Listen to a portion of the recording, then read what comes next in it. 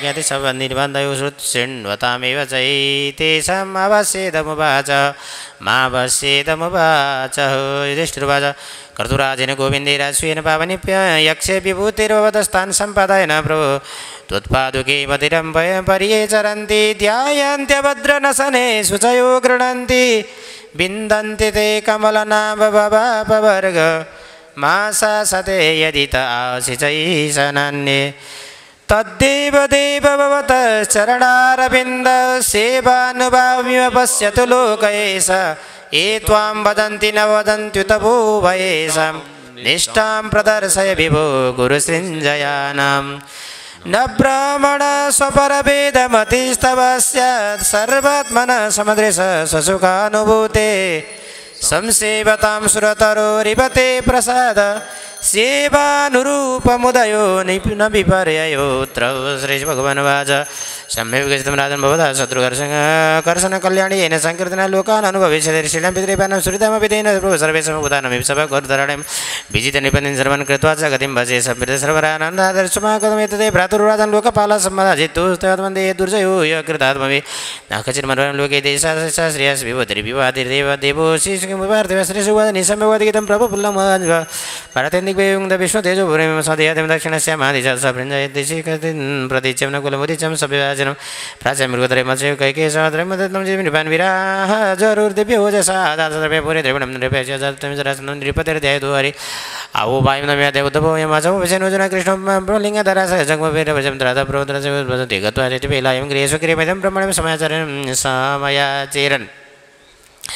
राजन्य ब्रह्मलिङ्गिन राजन् विद्यातीर्थं प्राप्तार्थिरोदुरगान् किं न प्रच भद्रं ते यद् भयं कामया किं दुरस्ति दिशन् किं कार्यमसादे किं नय विधान कपरसमतर्थ को नीतिनि शरणे सतां कियस्तोदरं भाजन तु सङ्कल्प सभाज सोचे बजारिद्रो चरन्ति ते सुन्दरवेदन वेद गुण भाव भाव दुर्गङ्गा त्रिभुज स्वैराकृत विधाते जाते राजन् बन्धु विज्ञान दृष्टवन पुराजित। राजन् बन्धु वेदे ब्रह्मलिङ्ग निवानिधामि तेन तात्मान्य सम्बलेन श्वेते केतु पितरदक्षुगदामि मैत्र पुरुषस्य विभ्रजन विष्णु श्रियं जीर्जित विष्णुविद्रुरूपेण अजन मयि प्राणपाणुदैतर जीवित प्राणार्थ कुर्णार्थ दशपदं तेन पदमानि नयेन विलं यदा हेतु न हरिभा कृष्णार्जन गुरुदेवी प्रयुतं कामोदास्य मेत्म श्रीरविहरे श्रीभुवनाच इदं नु राजेन्द्र द्वादशो यदि मन्यसे द्वादशो यदि मन्यसे युद्धार्थिन वयं प्राप्त राजन्यनकाङ्क्षित अशुभृगदर्श भरतस्य सम्प्रातन् वयम् अनयुर्मातुलोऽयं मां कृष्णं जानीद्रीपम् एवमापिति तु राजा जः स्वच्छये स्म। मगध आचार्मिष्टो वन्द युद्धं तरि वदामि तो न त्वया विरुणो विगत मथुरां सौभ्रीं त्यक्त्वा समुद्रं शरणमगत अयं तु वयसातुल्यो नाति सत्त्व न अर्जुनो नववेदिवता भूमिमस्तुल्यबलो स्म इत्युक्ता भीमसेनाय प्रातः महतिं गतं रेतियं समाधान निजगां पुरद् वै समयकाले वीरो विसमिता वेनेर जगनुर्भगवान् पदवे मरणमर्दन्मण्डलान् विचित्राणि सभ्यं दक्षिणमयमाचरतो नुस्पे नट्यं नटयोरिभङ्गिलो तथा चट्टचाटो भज निष्पयन व्रज्र निष्पेशन्निव गतयुजितविराजन् दन्तयुरिवन्दिनोदये ते वै गते भुजपनेन निपत्यमाने।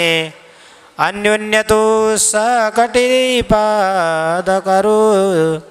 रुजरुजतृन् अन्योन्यतों स कटिपादकरो रुजतृन्। चूर्णी बभूवतु रूपे ते यथार्कशाखे संयुध्यतेर्तिव्रदयोरिव दीप्तमन्नो। इत्थं तयो प्रारतगयो गदयोर्निवीरौ क्रुद्धौ समुष्टिविरय सुप्रशैररिष्पां शब्दस्तयो प्रारतो समशिक्षा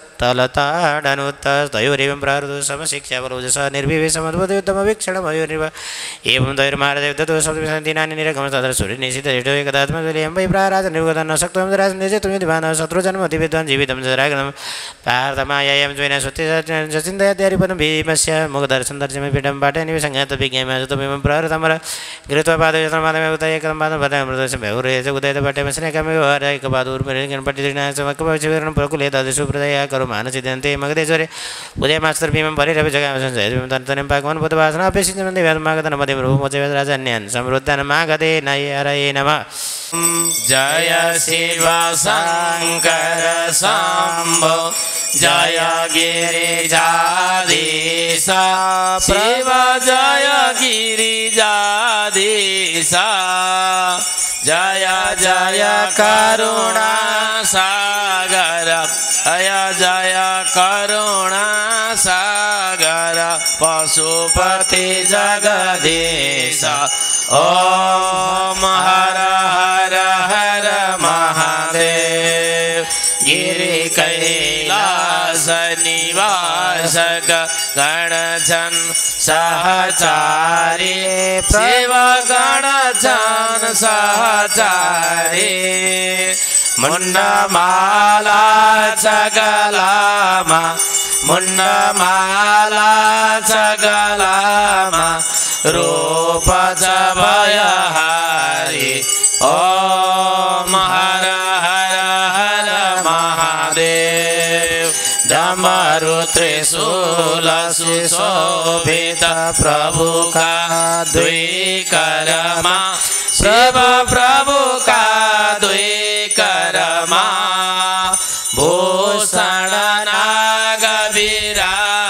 विराजित भूषण नाग विराजित वागम्बर तनमा ॐ हर हर हर महादेव। तीन नयनमा थरी थरी ज्योति छ दिव्य सदा महादेव। हाय हाय धर्मस्य ग्लानिर्भवति धर्मस्य तदात्मानं श्रीकाव्यं परित्राणाय साधूनां विनाशाय क्षेत्रस्तां धर्मसंस्थापनाथैत सम्भावानि युगे युगे हरे धूपम दीपम नैवेद्यम पूजा भयो यहाँ यो माटीलाई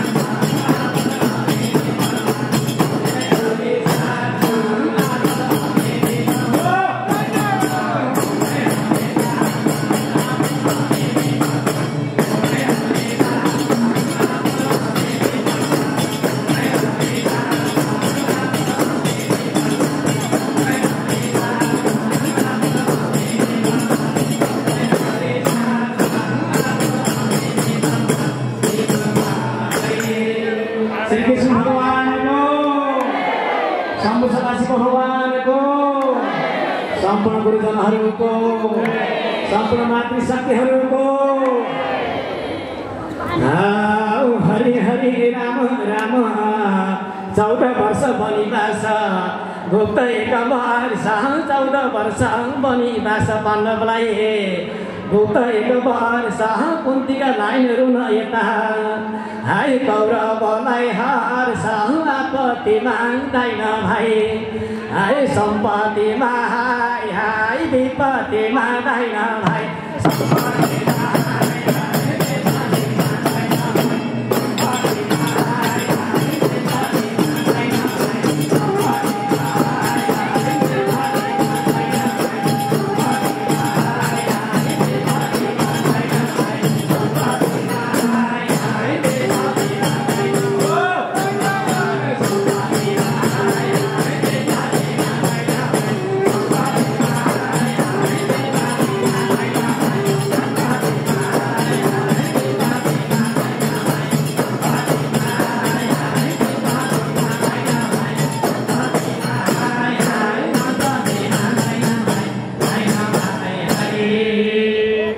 सहस्रकोटियुगधारणे नमः।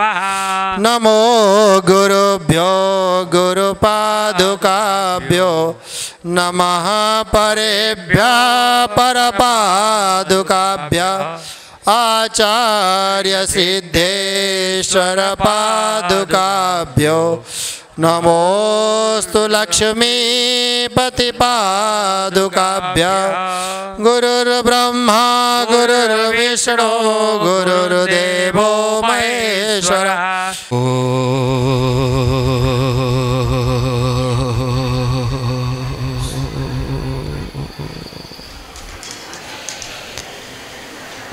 पूर्णमदः पूर्णमिदं पूर्णात् पूर्णमुदच्यते।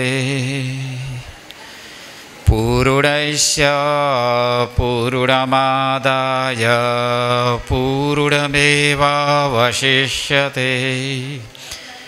ॐ क्षान्तिः क्षान्तिः क्षान्तिः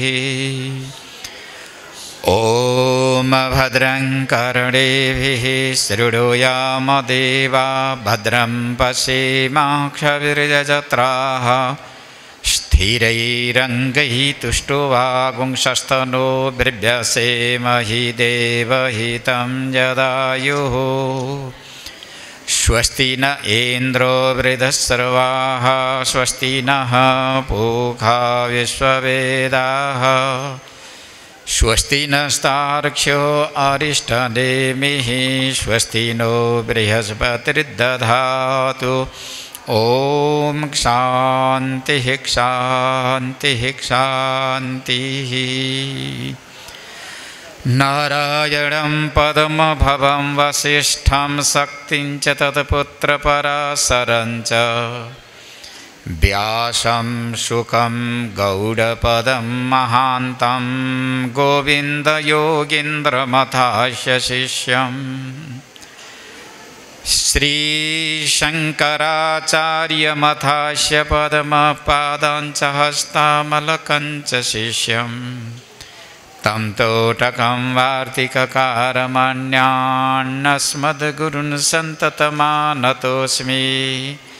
श्रुतिस्मृतिपुराणानामालयं करुणालयं नमामि भगवत्पादं शङ्करं लोकशङ्करम् शङ्करं शङ्कराचार्यं, केशवं बादरायणम् सूत्रभाष्यकृतौ वंदे भगवन्तौ पुनः पुनः। ईश्वरो गुरुरात्मेति मूर्तिभेदविभागिने व्योमवद्व्याप्तदेहाय दक्षिणामूर्तये नमः। सच्चिदानन्दरूपाय विश्वत्पत्यादिहेतवे तापत्रयविनाशाय श्रीकृष्णाय वयं नुमः। सच्चिदानन्दरूपाय गुरवे बुद्धिसाक्षिणे संसारतापदग्धानां शरण्याय नमो नमः। बोल सच्चिदानंद भगवान को यज्ञ पुरुष भगवान को जय अलि दुब्लो पातलो भएको छ है गौरी शङ्कर भगवानको लक्ष्मी नारायण भगवानको राधा कृष्ण भगवानको सियावर रामचन्द्र भगवानको जगज्जननी भगवती माताको राष्ट्रदेव पशुपतिनाथको सत्य सनातन वैदिक धर्मको ॐ नमः पार्वती पदये। हर हर हर महादेव शम्भो।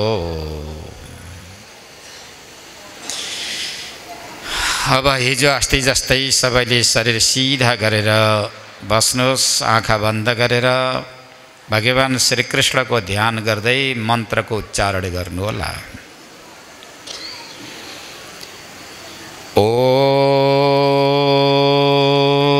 केशवाय नमः।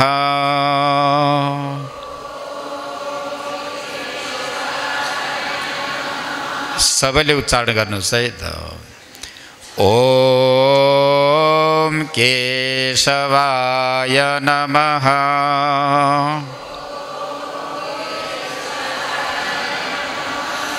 ॐ नारायणाय नमः।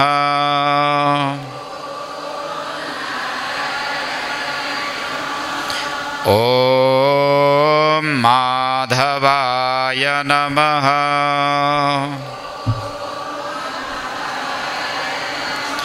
ॐ गोविन्दाय नमः।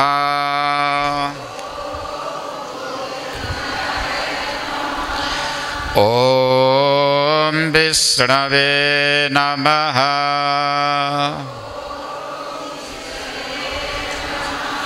ॐ मधुसूदनाय नमः।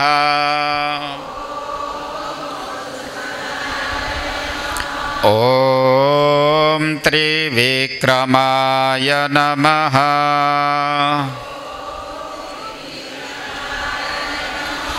ॐ वामनाय नमः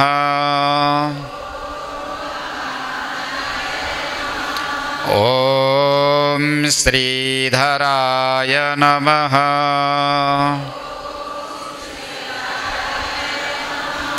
ॐ ऋषिकेशाय नमः।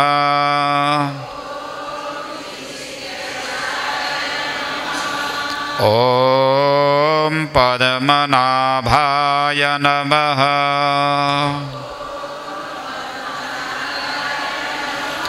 ॐ दामोदराय नमः।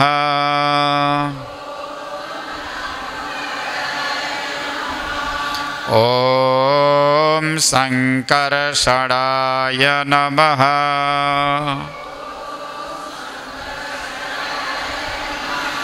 ॐ वासुदेवाय नमः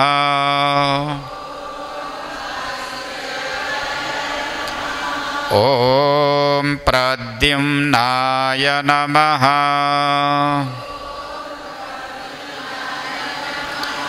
ॐ अनिरुद्धाय नमः।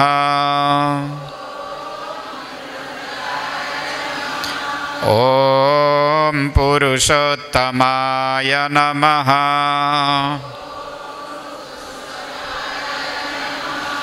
ओम अधोक्षजाय नमः।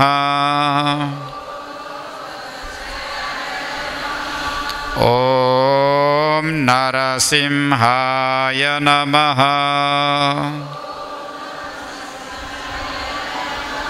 ओम अच्युताय नमः। ॐ जनार्दनाय नमः।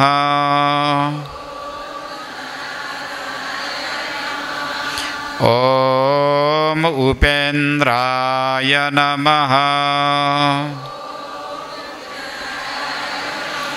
ॐ हरये नमः।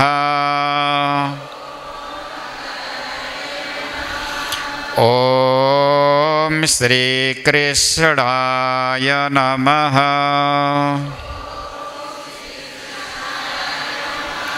ॐ श्रीकृष्णाय नमः।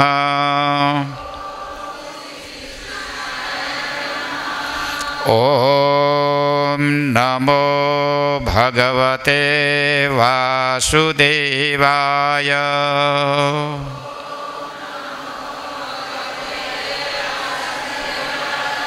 ॐ नमो भगवते वासुदेवाय।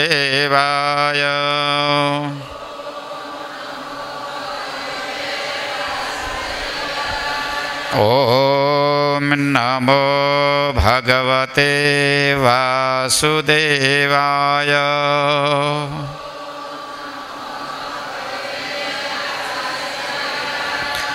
ॐ नमः शिवाय।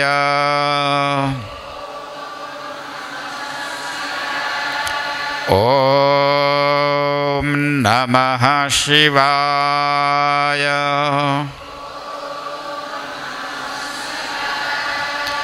ॐ नमः शिवाय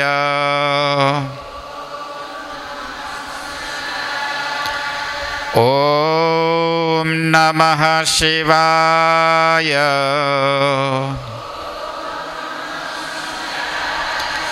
ॐ नमः शिवाय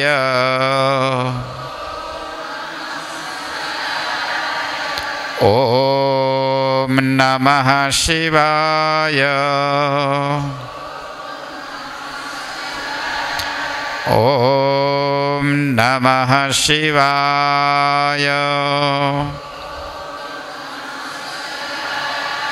श्रीमन्नारायण नारायण नारायण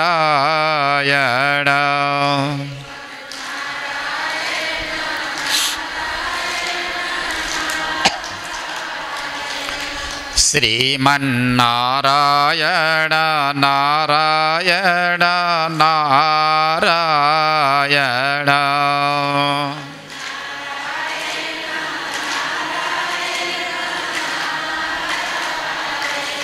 श्रीमन्नारायण नारायण नारायण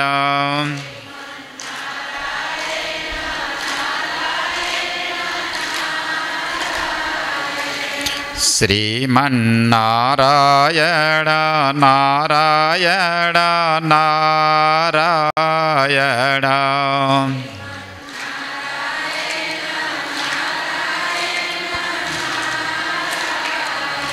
श्रीमन्नारायण भगवान को वासुदेव भगवान को गौरी शंकर भगवान को नेपाल जननी को सत्य सनातन वैदिक धर्म को ओम नमः पार्वती पदय हर हर हर महादेव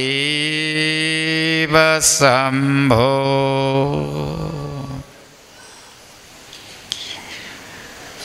राजोवाच समः प्रियः सुहृद्ब्रह्मा भूतानां भगवान् स्वयम् इन्द्रस्यार्थे कथं दैत्यान्नवधिद्विशतो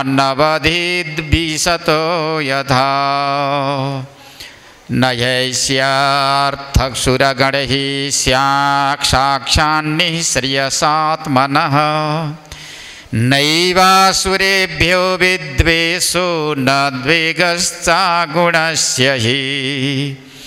इति नः सुमहाभागनारायणगुणान् प्रति संशयः सुमहान् जातस्तद्भवान् छेत्तुमर्हति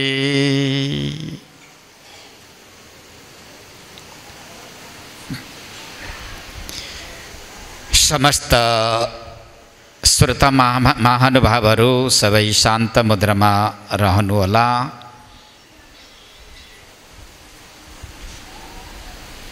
ग्रन्थस्थ सारा ऋषिमुनि महर्षिहरूका चरणारविन्दमा मनसा प्रणाम गर्दै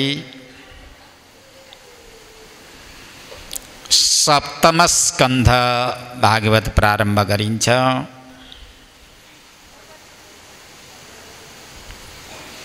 नैमिसारण्य क्षेत्रमा अठासी हजार ऋषि समक्ष सुत महर्षिले प्रस्तुत गरिरहनु भएको पावन प्रसङ्ग छ।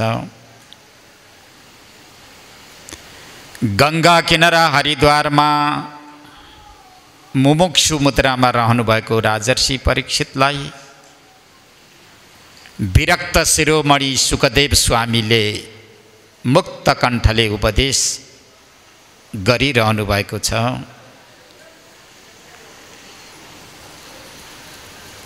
बिचबिचमा श्रोता प्रश्नकर्ता पात्रहरू थपिरहनुहुन्छ। भागवत परमहंस संहिता हो। यो साक्षात् ब्रह्मसूत्र बराबर छ। वेदान्त दर्शनमा तिन प्रकारका दर्शनहरूले विशेष प्रकारले स्थान पाएका छन्।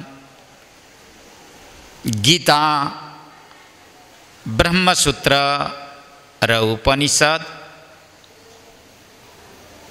यी दर्शन का महनीय ग्रंथ हुन् श्रुति ग्रन्थ स्मृति ग्रन्थ र न्याय ग्रन्थ भनिन्छ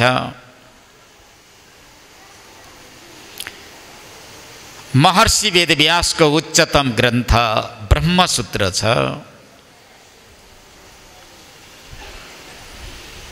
ब्रह्मसूत्र बराबर यो श्रीमद् भागवत छ। बडे बडे ऋषिमुनि महर्षिहरू जुन ग्रन्थमा रमण गर्नुहुन्छ। मैले यहाँहरूलाई सङ्केत गर्दै आएको छु सात दिनको अवधिमा मात्र श्रवण गरेर भागवत पुग्दैन।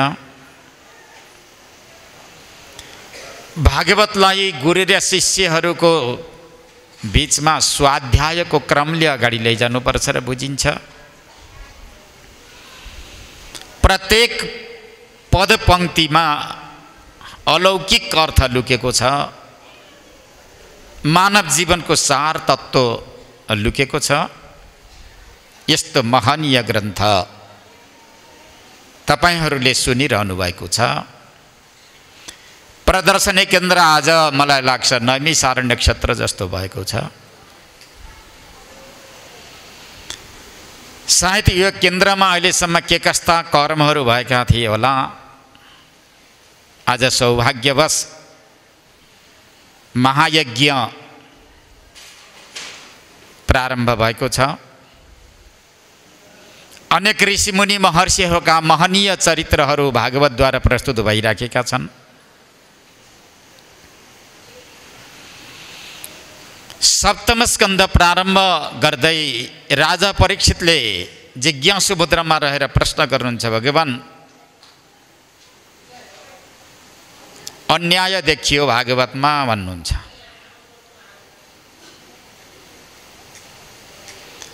जहीँ तहीँ हेरियो भगवान्ले देवताको मात्र पक्षधर देवताको मात्र पक्ष लिएको देखिन्छ समह प्रिय सुहृद ब्रह्मन् भूतानां भगवान् स्वयम् इन्द्रस्यार्थे कथं दैत्या नव नवधि द्विसमो यथा।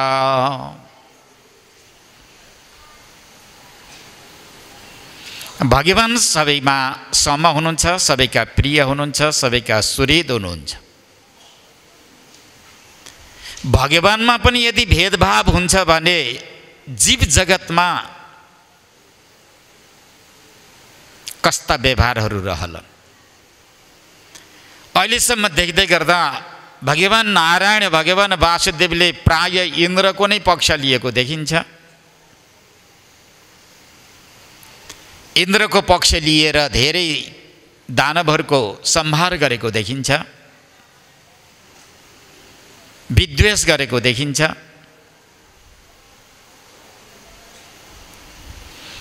भगवान्लाई सम भनेर भनिन्छ सम परमात्माले देवताको मात्र पक्ष लिने दानवको पक्ष नलिने। दानव के? भगवान्का सन्तान होइनन्। आफ्नो सृष्टि अन्तर्गत दानव असुर राक्षस के यी सबै पर्दैनन्। सन्देह छ भगवान्।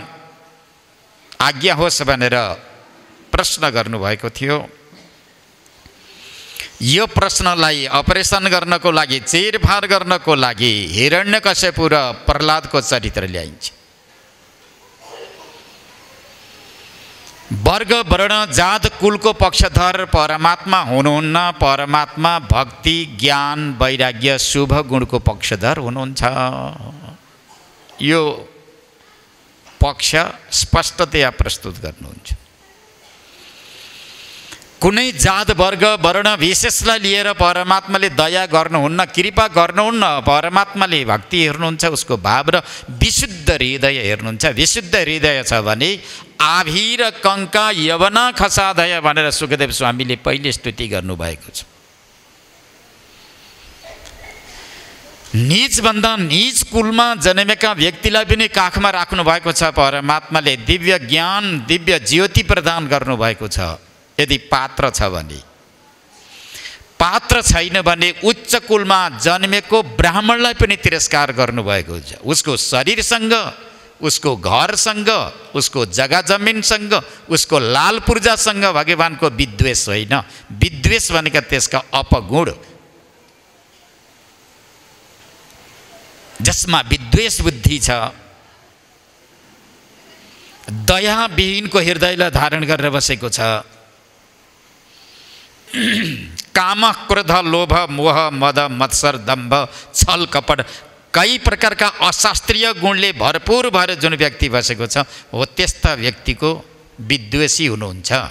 न दानव न मानव न देवता न स्त्री न पुरुष न ब्रह्मचारी गृहस्थ वानप्रस्थ सन्यास कसैको पनि विरोधी होइन। परमात्मा सम दम उपरति स्थितिक्षा श्रद्धा समाधान। जसको हृदयमा सद्भाव छ सद्भक्ति छ दयाले पूर्ण भएको हृदय छ त्यस्ता व्यक्तिको पक्षधर परमात्मा हुनुहुन्छ। श्रीकृष्ण गोविन्द हरे मुरारे हे नाथ नारायण वासुदेव। यसरी भगवान्को मन्त्र उच्चारण गर्ने सद्भावनाले परिपूर्ण भएको सत्वगुणी व्यवहारले सम्पन्न भएको जो व्यक्ति छ। चाहे गृहस्थ होस् भानप्रस्थ होस् सन्यास होस् सबैले अपनाउनुहुन्छ उसका सत्वगुणी व्यवहार हुनुपर्छ।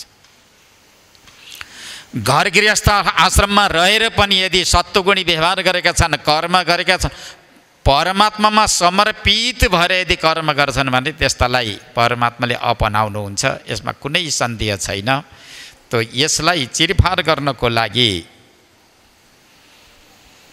हिरण्य कश्यपको दृष्टांत ल्याउनुहुन्छ दितीले सन्ध्या समयमा गर्भधारण गरिन्। तृतीय स्कन्धमा हामीले सङ्केत गरेका थियौँ। सनक सनन्दन सनातन सनत कुमार चार ए योगेश्वरको श्रापद्वारा जय र विजय नाम गरेका यी देवताहरू ऋषिको श्रापद्वारा पहिलो जन्ममा हिरण्याक्ष र हिरण्यकश्यको रूपमा अवतरित भए। दोस्रो रूपमा रावण र कुम्भकर्णको रूपमा जन्मे। तेस्रो जन्म शिशुपाल र दन्तवक्त्रको रूपमा यिनीहरू जन्मे। दन्तभक्त र शिशुपालको शरीरद्वारा यिनीहरू मुक्तात्मा भएर गए। भगवान् श्रीकृष्णले मोक्ष गति प्रदान गर्नुभयो। हिरण्याक्षको वध तृतीय स्कन्दमा भइसकेको छ। सन्ध्या समयमा नसुत्नु भोजन नगर्नु नपढ्नु सन्तान उत्पादन गर्ने क्रिया नगर्नु यदि गर्यो भने उल्टो फल प्राप्त हुन्छ भन्ने सङ्केत हामीले पहिले गरिसक्यौँ। हिरणाक्ष र हिरण्यकश्यपु दितीका गर्भमा रहँदा सय वर्षसम्म धारण गर्ने उनले। यदि जन्मे भने पृथ्वी काँप्न थाल्छिन् समुद्रहरू छचल्किन थाल्छन्। सूर्य मलिन हुन्छन् ऋषिमुनि महर्षिहरूको हृदय काँप्न थाल्छ भनेर सय वर्षसम्म गर्भमा धारण गर्छ। त्यसपछि जन्मिन्छ। बराह भगवान्द्वारा हिरणाक्षको वध भइसकेपछि अब हिरण्यकश्यपु देवताहरूको विद्वेषी। दानव भनेर त्यसैलाई भनिन्छ देवताले देवताको जसले विरोध गर्छ मातापिताको विरोध गर्छ धर्मको विरोध गर्छ। वेदको निन्दा गर्छ वेदोक्त धर्म कर्मको जसले निन्दा गर्दछ त्यो अहिले पनि दानवको पृष्ठभूमिकामा ऊ रहेको हुन्छ। दानव राक्षस भनेर कोही शरीरमा दाराहरू आउनु पर्दैन रङहरू जतासुकै पलाउनु पर्दैन स्वभाव हो। याद गर्नु दानव भनेको खराब स्वभाव अर्कालाई दुःख दिने। कुटिल हृदय मनमा एक बाणीमा अर्को र कर्म व्यवहारमा अर्को गर्ने जुन व्यक्ति छ त्यो नै दानव हुन्छ हिरण्य कश्यप हो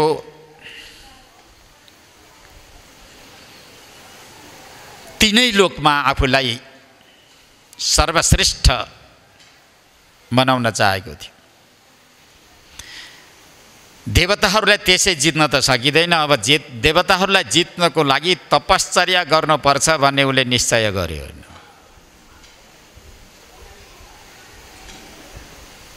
त्यो एक दिनको प्रसङ्ग हो।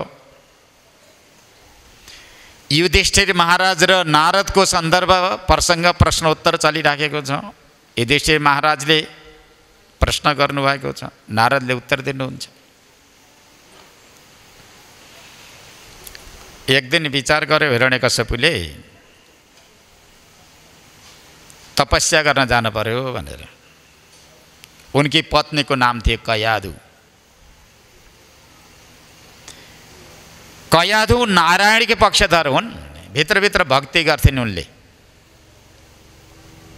अब पति पत्नीको स्वभाव पनि आफ्नै संस्कार अनुसारको हुन्छ एउटै घरमा बसेको भए पनि पति पत्नी पुत्र पुत्री यिनको स्वभाव भिन्न हुन सक्छ किनकि भिन्न भिन्न क्षेत्रबाट आएका छन् एक लोकबाट एक स्थानबाट कोही आएको छैन तपश्चर्या गर्न पर्यो भनेर घरबाट बाहिर निक्लँदै थियो। यहाँ भागवतमा त छैन। महापुरुषहरूले दृष्टान्त दिनुहुन्छ। कयाधुले प्रश्न गरेन रे पतिदेव हजुर कहाँ जाँदै हुनुहुन्छ भनेर सोधिन्। हिरण्य कश्यपले भन्छ अरे मुढे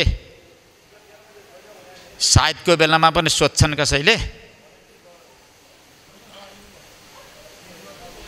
हिरण्यकश्यपु भन्छ। अनि अन्त्यमा भने म तपश्चर्या गर्नको लागि हिँडेँ जङ्गलतिर। कहिले फर्किने हुन्छ भनेर सोध्छिन्। कहिले फर्किनुहुन्छ हजुर? तपस्या जहिले पूर्ण हुन्छ त्यही त्यसै दिन फर्केर आउँछ। यो दिन यो तिथि मिति यो दिनमा फर्किन्छ भन्ने हुन्छ? तपश्चर्यामा हिँडेको व्यक्ति भन्छ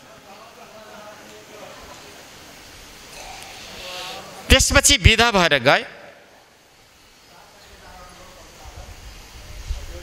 मन्द्राचल पर्वत शिखरमा गए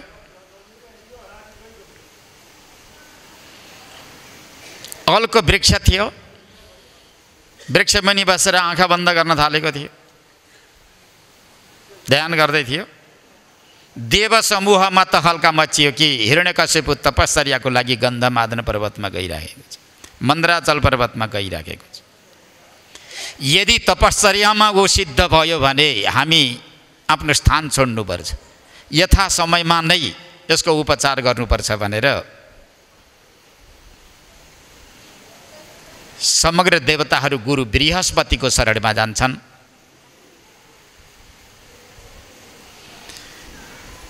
गुरु बृहस्पतिको शरणमा गइसकेपछि देवताहरूले भन्छन् हे भगवान् हिरण्यकश्यपु तपश्चर्याको लागि मन्द्राचल पर्वतमा गएको छ। तपश्चर्या सिद्ध भयो भने हामी स्थान भ्रष्ट हुनुपर्छ।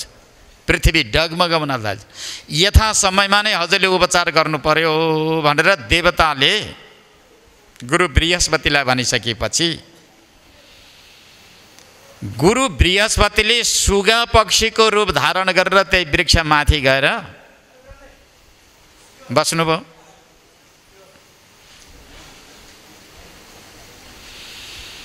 जब ध्यान गर्नको लागि आँखा बन्द गर्न थालेको थियो हिरण्यकश्यपीले माथिबाट सुगा पक्षीले नारायण भन्यो अरे।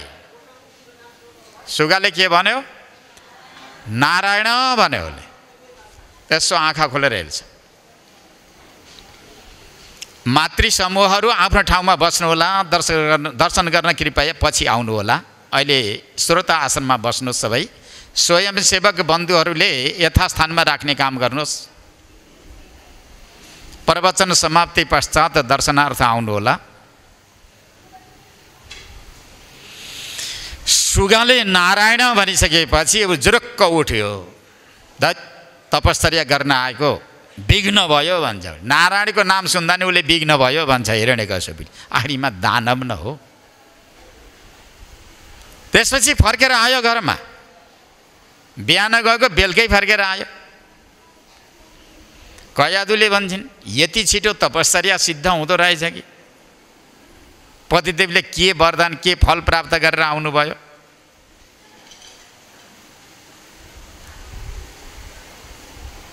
त्यसपछि कयाधुले तत्काल केही सोधिनन्। अब आज मैले एक सौ आठ पटक नारायणको नाम जपाउनु पर्छ मेरो पतिलाई भन्छन् कयादुले। ल।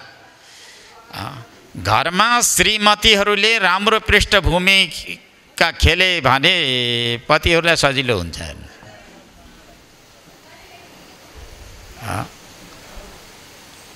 गृहस्थ आश्रम भनेको विशेष प्रकारको महिला जगतको गृहिणी भनिन्छ। घर कस्तो बनाउने? सन्तानहरूलाई संस्कार कस्तो दिने? गृहस्थ आश्रमलाई सुन्दर असुन्दर कस्तो बनाउने? यो प्राय गरेर गृहिणीको हातमा हुन्छ है ख्याल गर्नुहोला।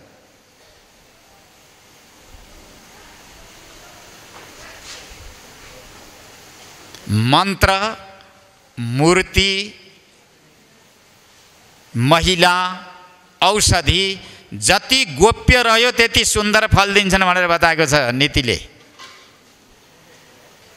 औषधि पनि गोप्य रहनुपर्छ त्यसले फल दिनको लागि। मूर्तिहरू पनि यदि नाङ्ग भयो भने तिनले फल दिँदैनन्। स्त्रीहरू पनि जति गोप्य रहे तिनीहरूले असल सन्तान दिन सक्छन् असल संस्कार दिन सक्छन् राष्ट्रलाई सुन्दर बनाउन सक्छन्। मन्त्रहरू पनि उच्चारण गर्न थाल्यो माइकमा उच्चारण गरेर गायत्री जप्न थाल्यो भने त्यो मन्त्रले फल दिँदैन। ख्याल गर्नु होला अहिले भक्तहरूले भन्छन् अँ माइकले फुकिएको थियो त्यहीँबाट सुनेर जप्दैछु भन्छ त्यसरी जपेर अर्थ हुँदैन। मन्त्र भनेको गोप्य हुन्छ। मनमा नै जपिन्छ। तब मात्र उसले फल दिन्छ।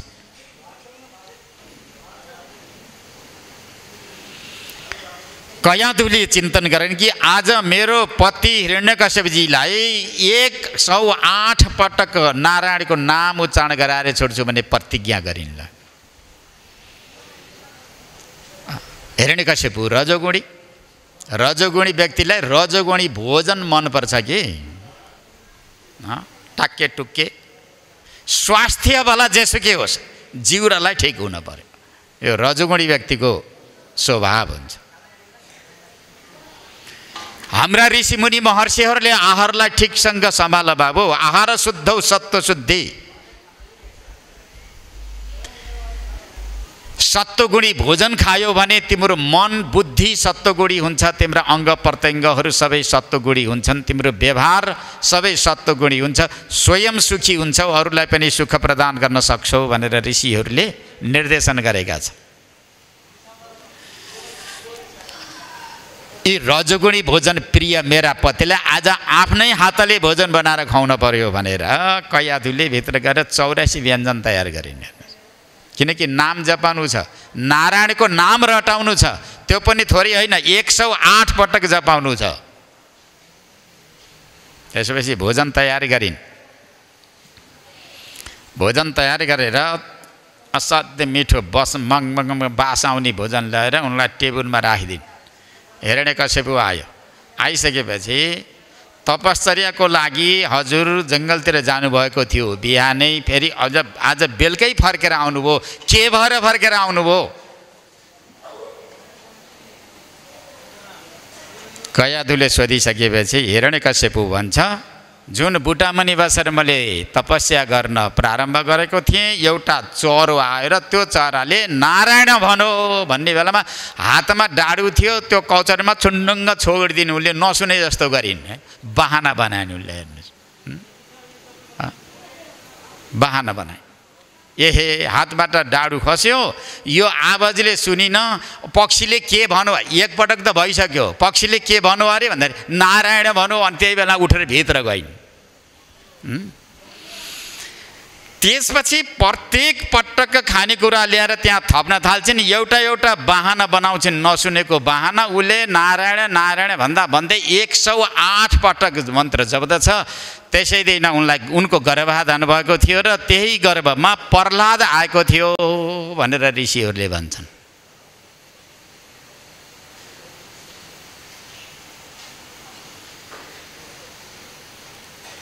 गृहस्थ आश्रममा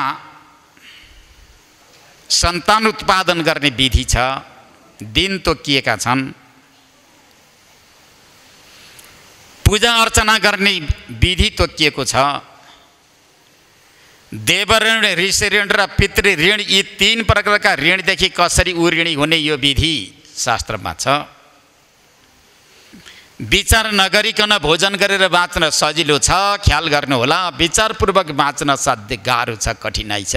वेदले के भन्छ पुराणले के भन्छन्?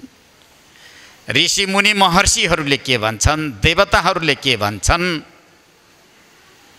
मनुष्यको शरीरद्वारा नै देवता हुन सकिन्छ पशुपक्षी पक्षी पनि भइन्छ दानव असुर पनि बनिन्छ।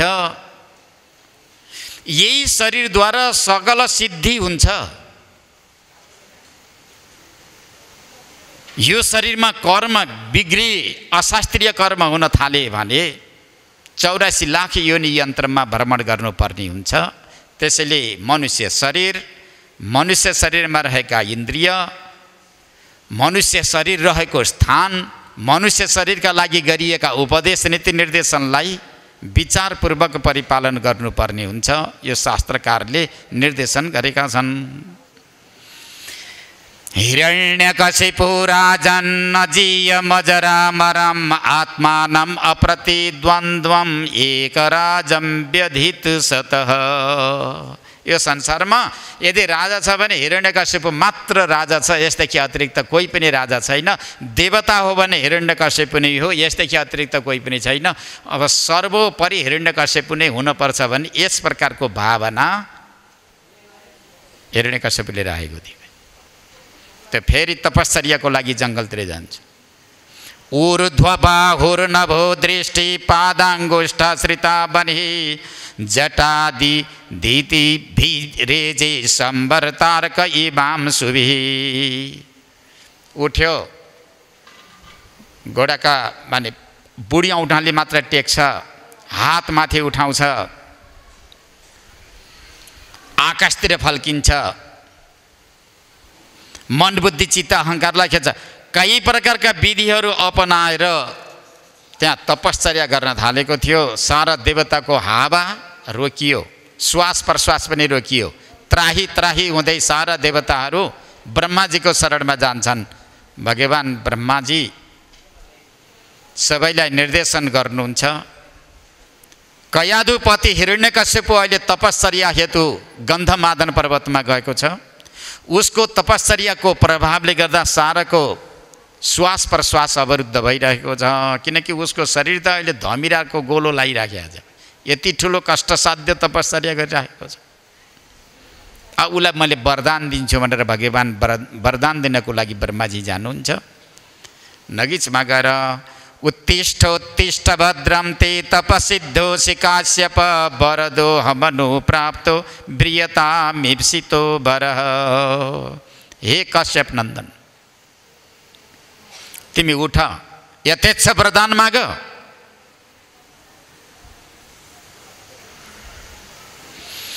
कल्पवृक्ष मुनि बसेर जसले जे चितायो त्यही वस्तु प्राप्त हुन्छ है। वस्तु एक छ त्यो एक वस्तुमा जसको दृष्टि जस्तो हुन्छ त्यो वस्तु त्यस्तै हुन्छ। दृष्टि हो। मैले दृष्टान्त दिने गर्छु। एकजना महात्मा तीर्थाटनको लागि आफ्नो कुटियाबाट निक्लिनुभयो।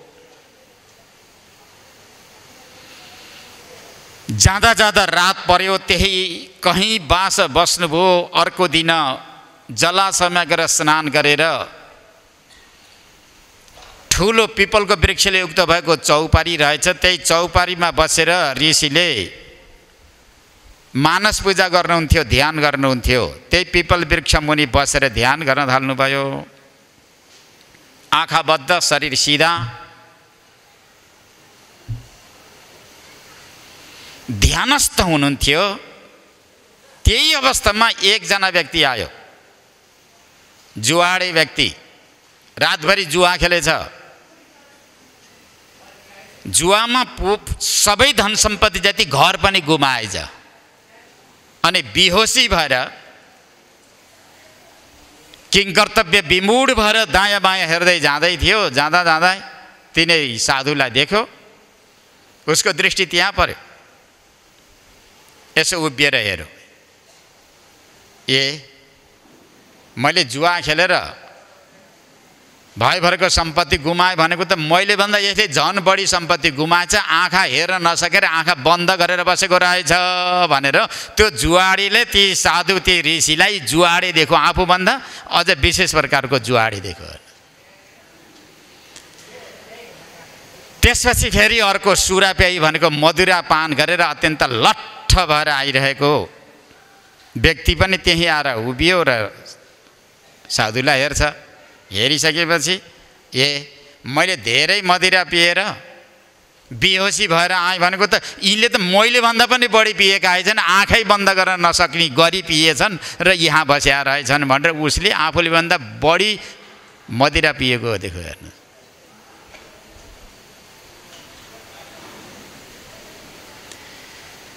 त्यसपछि अर्को व्यक्ति आउँछ त्यहीँ। पण्डित आउँछ। पण्डितले यसो हेऱ्यो हेरिसकेपछि मैले त ध्यान गर्छु भनेको थिएँ। भगवान्को दिव्य मूर्तिको ध्यान गरेर आफूलाई कृतार्थ बनाउँछु भनेर आँटेको थिएँ।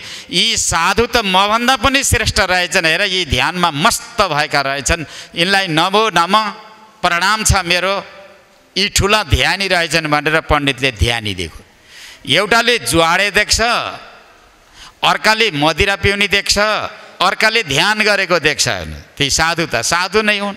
त जसको दृष्टि जस्तो थियो एक साधुमा उनीहरूको दृष्टि त्यस्तै भयो त्यस्तै प्रकारले परमात्मा पनि सम हुनुहुन्छ सर्वत्र हुनुहुन्छ बराबर रूपमा रहनुभएको छ तापनि। जसको दृष्टि सङ्कल्प जस्ता जस्ता छन् त्यस्तै प्रकारले देख्छन्। हिरण्यकश्यपुले पनि विचित्रको तपश्चर्या गर्यो भगवान् ब्रह्माजी आउनुहुन्छ वरदान माग्नको लागि आग्रह गर्नुहुन्छ। हिरण्यकश्यपुले हात जोडेर भन्छन् हे भगवान् मलाई वरदान दिनुहुन्छ भने मेरो मृत्यु नै नहोस्। अजर र अमर हुने वरदान दिनुहोस् भनेर माग्दै थियो। ब्रह्माजी भन्नुहुन्छ भाइ यो सृष्टिमा यस्तो हुँदैन। जातैस्य हि ध्रुव मृत्यु ध्रुवम जन्म मृतस्य च जन्मेका व्यक्तिको मृत्यु छ। अजर र अमर कोही हुँदैन शारीरिक दृष्टिले। आत्माको मृत्यु हुँदैन शरीर अजर अमर हुन सक्दैन भाइ शारीरिक दृष्टिले कोही पनि अजर र अमर हुँदैन। ठिक छ तन्त्र मन्त्र यन्त्र गरेर एक दुई हजार वर्षको आयु थप्लन् तर शारीरिक दृष्टिले अजर र अमर कोही पनि हुँदैन। यदि त्यस्तो हुँदैन भने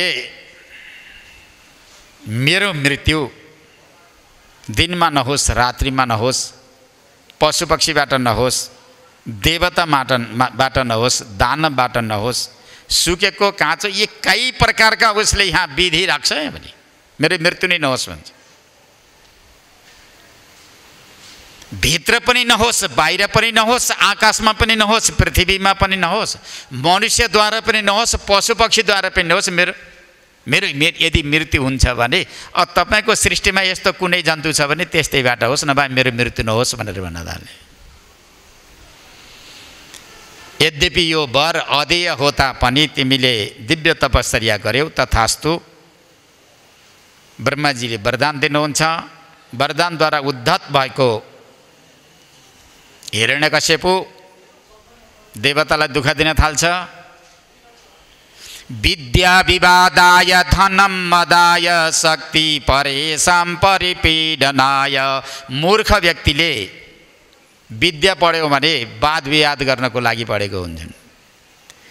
मूर्ख व्यक्तिले धन कमायो भने अहङ्कार गर्नको लागि हुन्छ मदको लागि हुन्छ। मूर्ख व्यक्तिका शरीरमा शक्ति रह्यो भने अरूलाई ताडन गर्नको लागि दुःख दिनको लागि हुन्छ। खल व्यक्तिमा यी गुणहरू रह्यो भने यिनले सबैलाई दुःख दिन्छन्। सज्जनमा यी विद्या रह्यो भने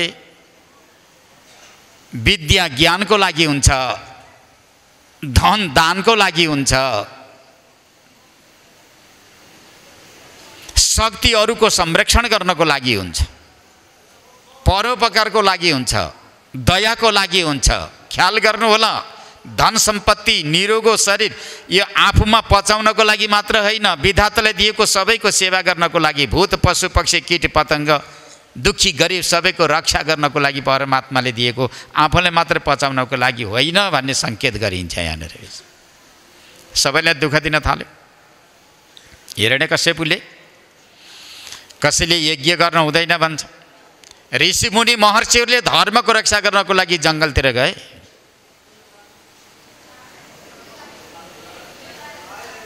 त्राही त्राही भइसकेपछि आकाशतिर फर्केर सारा देवता ब्राह्मणहरूले यस्तोतिर प्रार्थना गर्न थालेको थियो त्यही बेलामा यदा देवेशु वेदेशु गोसु विप्रेसु साधुसु धर्मे मै च विद्वेष सभा आसु विनश्यति। हिरण्यकश्यपले जब देवतासँग विद्वेष गर्ला वेदको निन्दा गर्ला गाईको अपमान गर्ला ब्राह्मणको अपमान गर्ला साधु सन्तको तिरस्कार गर्ला धर्म र म प्रति जसले जुन दिन विद्वेष गर्दै जान्छ बस त्यसै दिन त्यसको नाश हुन्छ भने।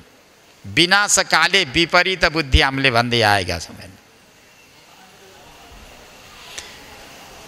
यदि कुनै व्यक्तिले देवताको निन्दा गर्छ वेदको निन्दा गर्दछ गाईको अपमान र वेदपाठी ब्राह्मणहरूको अपमान गर्छ साधु सन्त महात्माहरूका तिरस्कार गर्छन् धर्मको अपमान गर्छ र परमात्माको अपमान गर्छ भने बस त्यसको नाश भयो भन्ने कुरा जान्नु होला।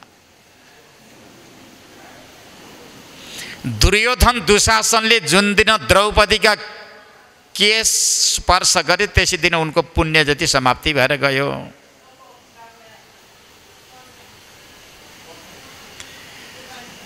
रावणले जुन दिन सीता जगतजननी भगवती महा मायालाई स्पर्श स्पर्श गर्यो त्यसै दिन उसको पुण्यकर्म जति समाप्ति भएर गयो। पुण्यकर्म नाश भयो भनेदेखि त्यो एउटा खोक्रो मात्रै रहन्छ अरू केही रहँदैन।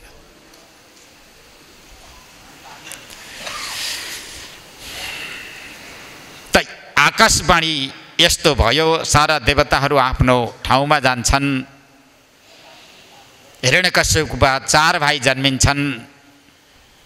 कान्छो प्रह्लाद जन्मिन्छ।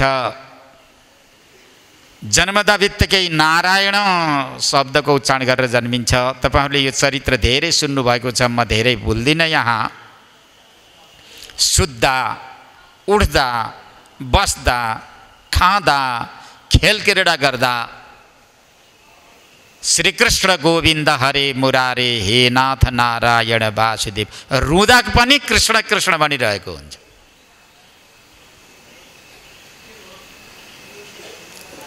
हामीलाई अप्ठ्यारो भयो भने हे भगवान् आऊ भगवान् दया गर भगवान् भन्छौँ सजिलो भयो भनेदेखि सबै सदाको लागि भुलिदिन्छौँ दानव कुलको बिचमा जन्मिए प्रह्लाद बढ्दा उठ्दा कई प्रकारका व्यवहार गर्दा नारायण नारायणको नामको उच्चारण गर्न थाल्यो स उत्तम श्लोक पदारविन्दयुर् निषेपया किंचन सङ्गलब्धया तन्मन परां निर्वृत्तिमात्मनो मुहुर दुसङ्ग दुसङ्गदीनान्य मनः समं व्यधात्। मनलाई संयममा राख्छ ध्यान गर्छ अरू भाइभन्दा अलिकति भिन्न स्वभाव र भिन्न संस्कार देखिसकेपछि हिरण्यकश्यपुले षण्ड र अमर्क शुक्राचार्यका दुई पुत्रलाई गुरुकुलमा अध्यापकको रूपमा नियुक्ति गर्छन्। अरू भाइलाई राजनीति कुटनीति कई प्रकारका नीतिहरू सिकाउँछन्। प्रह्लादले सिक्दैनन्। सबभन्दा ठुलो विद्या भनेको परमात्मा हो। परमात्मालाई जान्नु। हरे राम हरे राम यो ठुलो विद्या हो। संसारमा सबैभन्दा ठुलो सम्पत्ति भनेको भगवान् नारायण वासुदेव हुनुहुन्छ।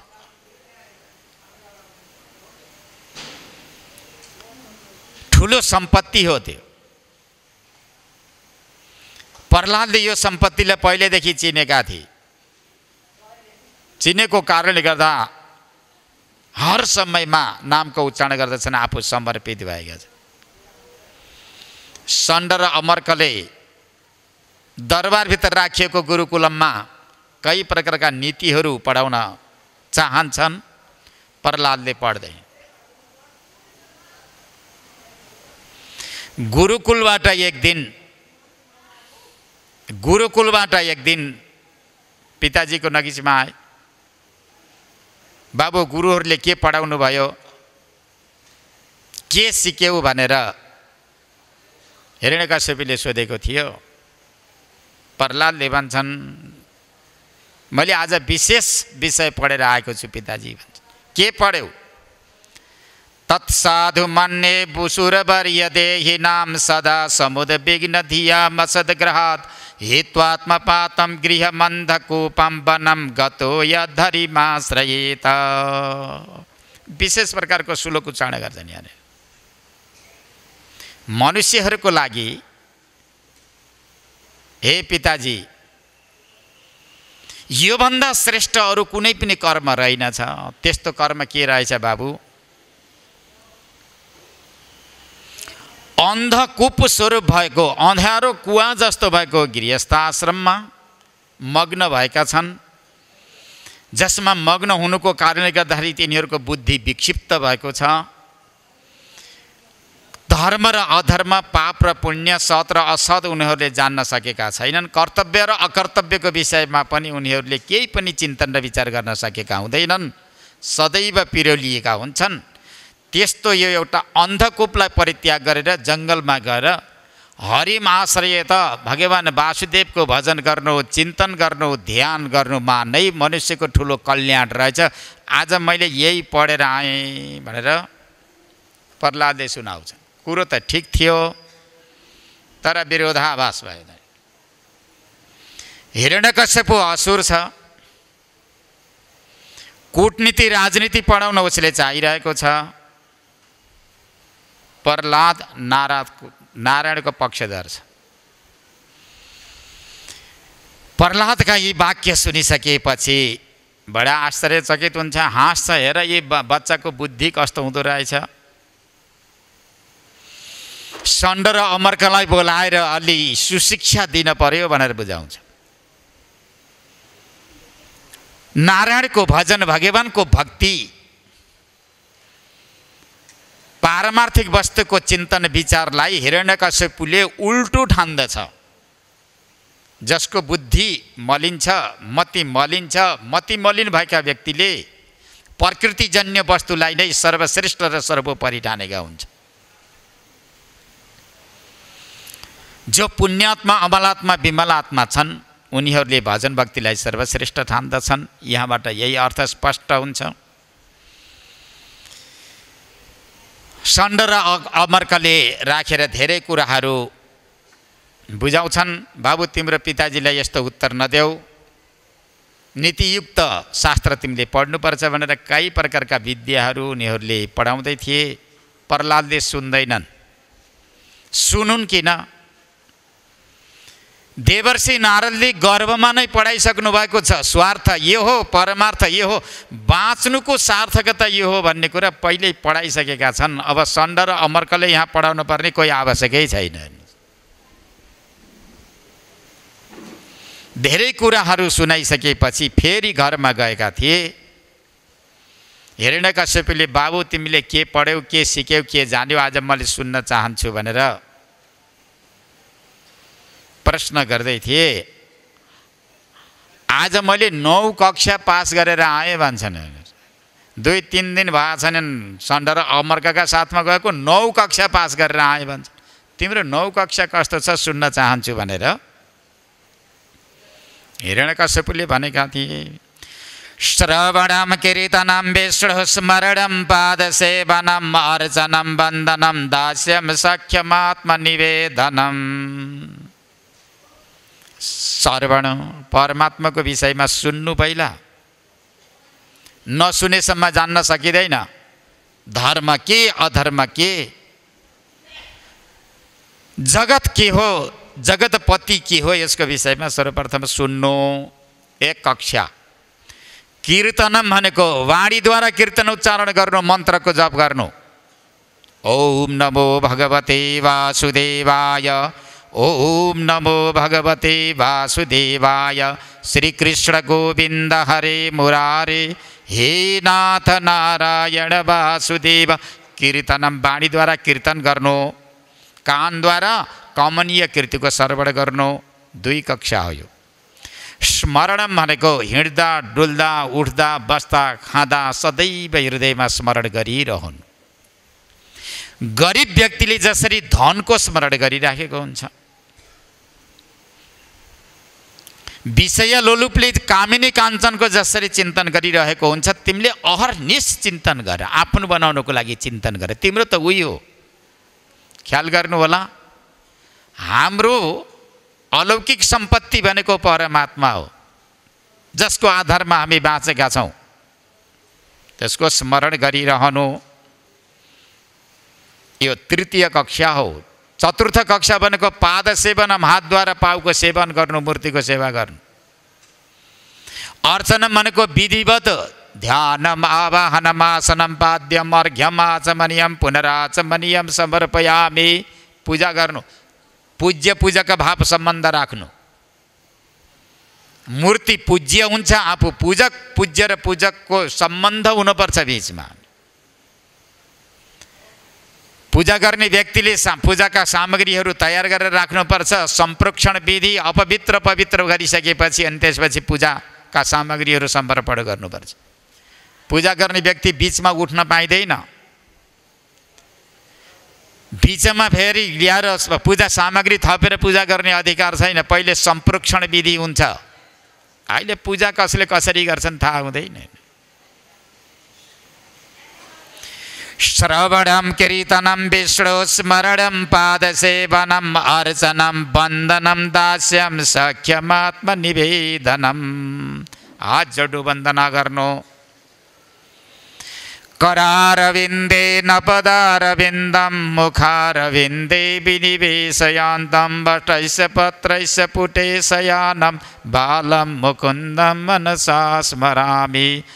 कर्पूरगौरं करुणावतारं संसारसारं भुजगेन्द्रहारं सदा वसन्तं हृदयारविन्दे भवं भवानी सहितं नमामि वंशी विभूषितकराण्डवनीरदावात् पीताम्बरदरुणबिम्बफलाधरुष्ठात् पूर्णेन्दुसुन्दरमुखादरविन्दनेत्रात् कृष्णात् परं किमपि तत्त्वमहं न जाने।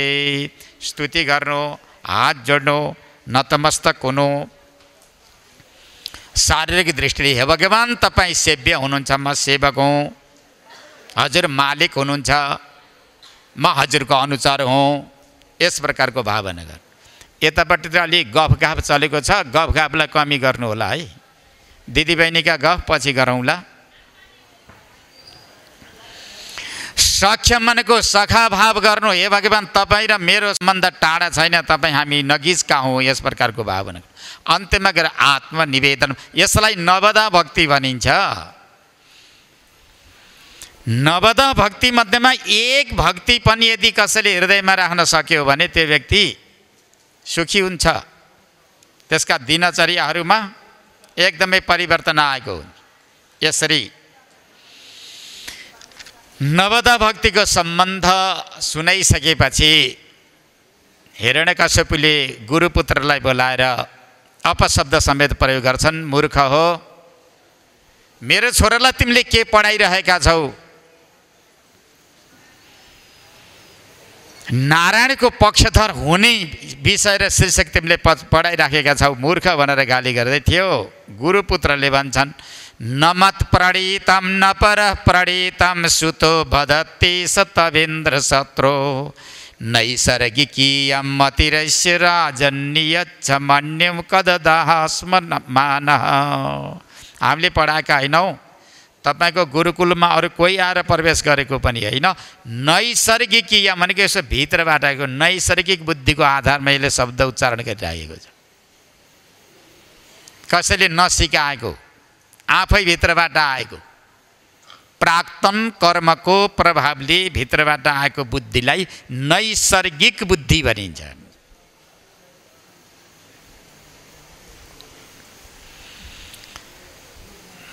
त्यसपछि गुरुपुत्रहरूले यस्तो किन भन्दैछौ तिमीले? हामीले पढाएका छैनौ। हामीले नपढाएको विषयवस्तु किन प्रस्तुत गर्दछौ? भित्र रहेको चैतन्यले मलाई पढाएको छ त्यही भन भन्छ भन्छन् प्रहलादले। तिमीले के पढेका छौ? तिमीले कोष खजाना पढेका छौ? राजनीति पढेका छौ? बाहिरको विषय मात्र पढेका छौ? जसरी शरीर स्वस्थ रहन्छ त्यति मात्र पढेका छौ।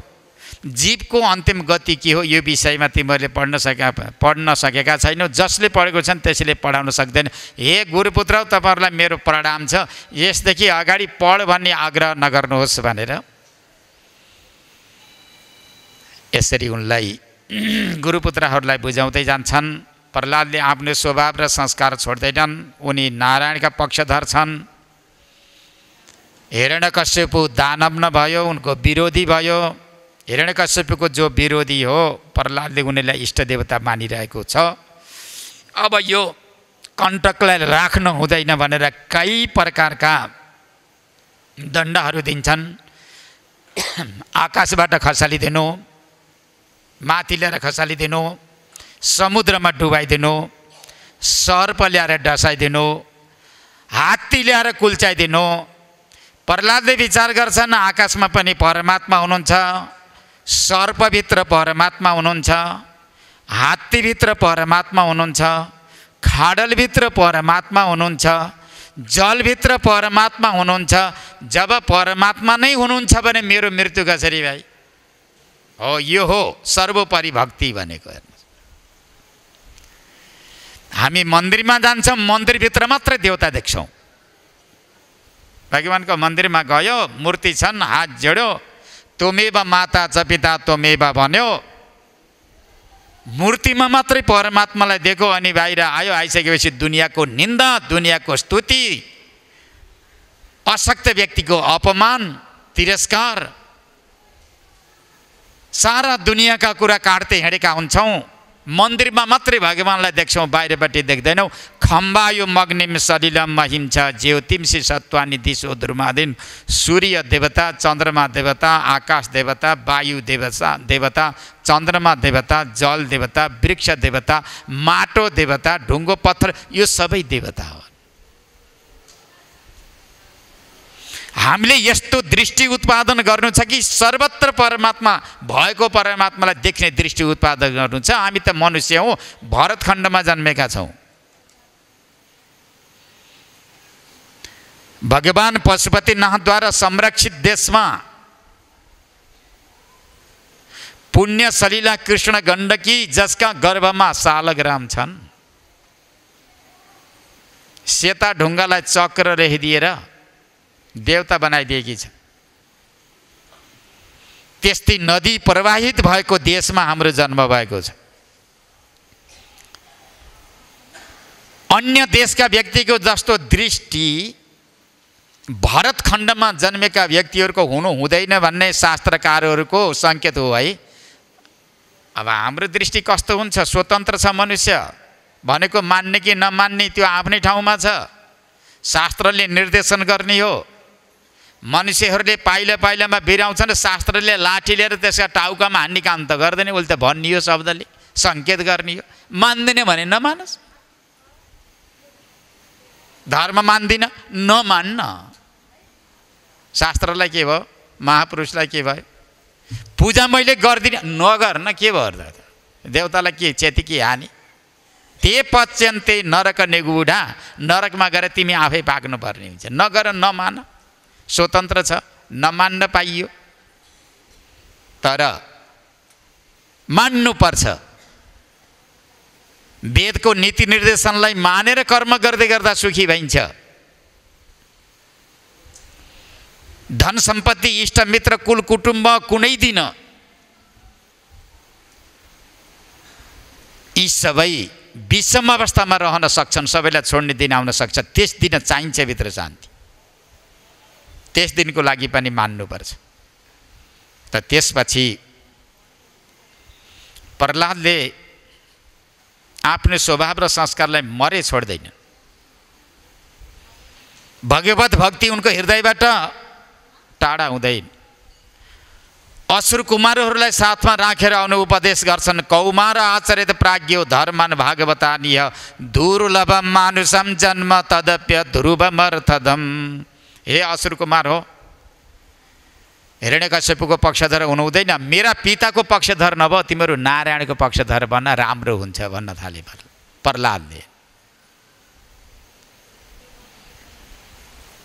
त्यहाँको गुरुकुलममा आचार्य त प्रहलाद हुन थाले प्रहलादले नै उपदेश गर्दै भन्छन् कौमार आचार्य प्राज्ञो धर्मन भागवतानिय दुर्लभ मानुषम जन्म तदव्य ध्रुवमर्थदम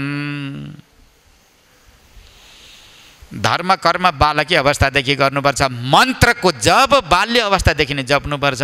बुढो भएपछि लौरो टेक्ने भएपछि दाँत फुक्लेपछि केस फुलेपछि बसेको उठ्न सक्दैन उठेको बस्न। त्यो अवस्थामा मन्त्र जपेर जपिँदैन बा कौमार भनेको एकदम बाल्य अवस्थादेखि नै जप्दै जानु है। भागवत धर्मको परिपालन गर्दै जानु। दुर्लभ मानुष्य मानुषम जन्म। मनुष्यको जन्म प्राप्त गर्नु अत्यन्त दुर्लभ छ एउटा दोष छ अध्रुव भनेको कुन समयमा नासुनि यो थाहा हुँदैन फेरि। अरे भज हरेर नाम सुखधाम क्षणे क्षणे बहि सरसि निश्वासै विश्वासक प्रवर्तते। बाहिर गएको श्वास फर्केर भित्र आउला भने यहाँ के ठेगान बजार गएको व्यक्ति कुशलपूर्वक फर्केर घर आउँछ भन्ने पनि विश्वास छैन थालीमा भात राखेर खान थालेको छ पुरै भित्र जान्छ जाँदैन त्यो पनि निश्चित छैन। यो त अनिश्चित शरीरमा बाँचिरहेका छौँ हामी। ख्याल गर्नु होला। अविचारपूर्वक बाँच्न असाध्यै सजिलो छ विचारपूर्वक बाँच्न गाह्रो छ। श्वास प्रश्वास परमात्माको दयाले भित्र बाहिर गरिरहेका छन् बाहिर गएको श्वास भित्र फर्केन भने जय सियाराम।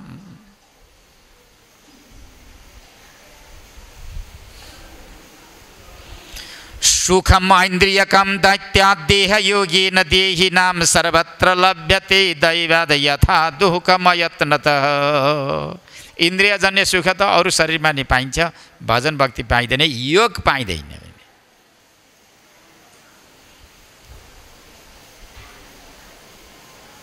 जम्मा हो सय वर्ष आयु नरको पचास गयो रातमा बालक भइकन पन्ध्र वर्ष बितिगो पन्ध्रै गयो वृद्धमा। बाँकी बिस पनि रोग दुःख व्यवहार टन्टा बखेडा गरी गइगो शून्य रह्यो कौन बखतमा बस्छौ ठुलो भोग गरी। नीतिकारहरूले बताउँछन्। सय वर्षको आयु पचास वर्ष सुतेर जान्छ। बाल्य अवस्थामा पन्ध्र वर्ष जान्छ पन्ध्र वर्ष वृद्ध अवस्थामा जान्छ। जम्मा बिस वर्षको आयु बिस वर्षको आयुमा कई प्रकारका रोग भोग शोक टन्टा व्यवहारहरू छन्। अब के सुखी भएर बस्छौ बाबु? ख्याल गर यो प्रहलादले असुर कुमारहरूलाई यहाँ ज्यादै महत्त्वपूर्ण उपदेश गर्छन्। अब यी सबै पङ्क्तिहरू उच्चारण गरेर तपाईँहरूलाई बुझाउन सकिँदैन। यो त स्वाध्यायको क्रम क्रमले नै बुझ्न र बुझाउन सकिन्छ। यसरी असुर कुमारहरूलाई सुनाइसकेपछि दरबारभित्रका असुर कुमार जति सारा प्रहलादका पक्षधर भयो अब त दुई पार्टी भयो त्यहाँ। नेपालमा त धेरै पार्टी हुन्छन्। हिरण्यकश्यपमा दुईवटा पार्टी भए। एउटा हिरण्यकश्यपको पार्टी एउटा प्रहलादको पार्टी। बाउ छोराका पनि पार्टी पार्टी हुँदो रहेछन् हेर्नुहोस्? अब हुँदा हुँदा कसको पार्टी सबल होला? सबल त प्रहलादको हुन्छ अब? प्रहलादको पार्टी। प्रहलाद कसको पक्षधर? नारायणको पक्षधर। हिरण्यकशु हिरण्यकश्यप त उसको विरोधी पक्ष। एक दिन कीर्तन गर्न थाल्यो अरे प्रहलादले। श्रीकृष्ण गोविन्द हरे मुरारे हे नाथ नारायण वासुदेव भनेर कीर्तन गर्दै थियो त्यो असुर बालक चाहिँ त सबै उठेर नाच्न थालेछन् श्रीकृष्ण गोविन्दको धुनी चलिरहेको छ प्रहलाद पनि नाचिराखेका छ भाव विभोल भएर अहिलेको भागवतमा नाचेको जस्तो नचाहि होइन हो त्यो त अलि भाव विभोल थियो फेरि आँखा बन्द गरेर हेर्ने अश्रुपात हुँदैन नाचिरहेका थिए त्यसपछि त्यहाँ कोलाहल आयो के भइराखेको छ? भनेर हिरण्यकश्यपले ती दानवरले हेर्न पठाउँछ जाँदाखेरि त जो जो जति जति हेर्न जान्छन् उनीहरू नै नाचौँ नाचौँ भयो अरे श्रीकृष्ण गोविन्द हरे मुरारे गाउँ गाउँ जस्तो हुन थाल्यो अरे। सब पुरै? जति गए उनीहरू सबै प्रहलादका नबिचमा गए जतिकाले श्रीकृष्ण गोविन्द हरे मुरारे भन्दै ताली ठोक्दै नाच्दै गर्न थाले। अनि सण्ड र अमर्क गए अरे यी गुरुहरू। के हुँदैछ? हेर्न जाँदा त सण्ड र अमर्क गुरुलाई पनि त्यो भूतले छोएछ र उनले पनि श्रीकृष्ण गोविन्द हरे मुरारे हेर ताली ठोकेर उनी पनि नाच्न थालेछन् हेर्नु। यो भक्तिको प्रभाव हो। छोयो भक्तिको चस्का एकपटक मुटुमा गढ्यो भने बिहुल बनाउँछ सबैलाई। देहे गेहे च विस्मृति विस्मृत बिहुल बनाइदिन्छ। हो त्यसभित्र जीवन छ। त्यो व्यक्तिले सबै छोड्छ कि घर गृहस्थ आश्रमका कर्म व्यवहार जति बन्द हुन्छन् कि भन्नु होला नडराउनु होला अझै राम्रो हुन्छ। तपाईँहरूका छोराछोरी ज्ञानी ध्यानी शिष्ट सभ्य बन्छन् घर सत्वगुणी हुन्छ। घर घरको रूपमा रहँदैन तपाईँको घर मन्दिरको रूपमा परिणत हुन्छ। कसाई खाना जस्तो हुँदैन।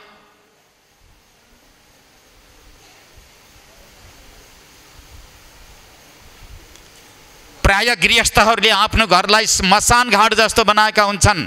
कुरा बुझ्नु होला सङ्केत मात्रै गरेँ मैले। मनुष्यको लागि परमात्माले दुध दही फल फुल अन्न मान्छेलाई पाल्नको लागि एक दानाको हजारौँ दाना बनाइदिएर परमात्माले राखिदिएको छ। तपाईँले फलाएको हो? तपाईँलाई बचाउनको लागि हृष्टपुष्ट बनाउनको लागि मकैको एउटा दानो लगाएर तपाईँले रोप्नुहुन्छ पाँच सय दानाभन्दा बढी एउटा घुँगामा फल्छ त कसले बनाइदियो? परमात्माले बचाउनको लागि हृष्टपुष्ट बनाइदिनको लागि। मान्छे हृष्टपुष्ट र बलियो हुनको लागि कसैको गलो सेरेर मांसाहार गरेर मात्र हृष्टपुष्ट हुँदैन ख्याल गर्नु होला हिंसा समान अरू केही हुँदैन पाप यो चाल देख्दछु म त बहुतै खराब पाजी शरीर कन पोषण लाइएको मार्नु अनेक पशु यो कुन हो विवेक मान्छे सत्वगुणी हुनुपर्छ आहार शुद्ध सत्वगुणी भोजन गर्नुहोस् तपाईँको आयु बढ्छ जति जति रजगुणी र तपगुणी भोजन गर्दै जानुहुन्छ त्यति तपाईँलाई रोगले आक्रमण गर्छ पछि गएर रुनुभन्दा डक्टर कहाँ गएर सुत्नुभन्दा पहिल्यै शुद्ध शाकाहारी भोजन गर्नुहोस् मस्त बिहान बेलुका भजन भोजन शाकाहारी। आ जीवन त्यहीँ आउँछ भने। त्यहीँ अमृत आउँछ। अहिले भन्छन् सबैले भजन भक्ति गर्ने बिहान बेलुका पूजा गर्दै गरे घरको व्यवहार कसले सम्हालिदिन्छ?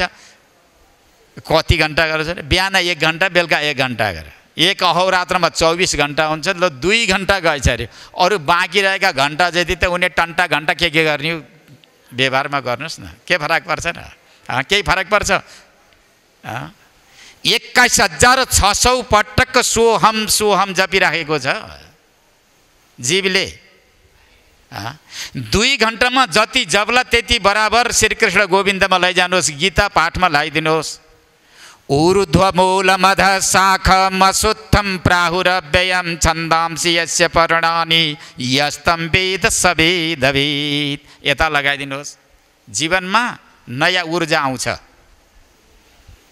मन जति छोडिदियो आहार विहार जति बिगार्दै गयो त्यति जीवनमा मलिनता आउँछ। नयाँ ऊर्जा आउँदैन। संयमी आत्मसंयमी आज प्रहलादका पक्षधर बने सारा असुर कुमारहरू सण्ड र अमरका हिजोसम्म जसले पढाउँदै थियो। पढाउने त्यो दुईवटा गुरु पनि ताली ठोकेर श्रीकृष्ण गोविन्द हरे मुरारे भनेर नाच्न थाले वा। ए न के न प्रकार हिरण्य कश्यपको नगिचमा गएर भन्छन् भगवान् तपाईँ जानुभयो भने तपाईँलाई पनि नाचौँ नाचौँ हुन्छ भो नजानुहोस् भनेर लागि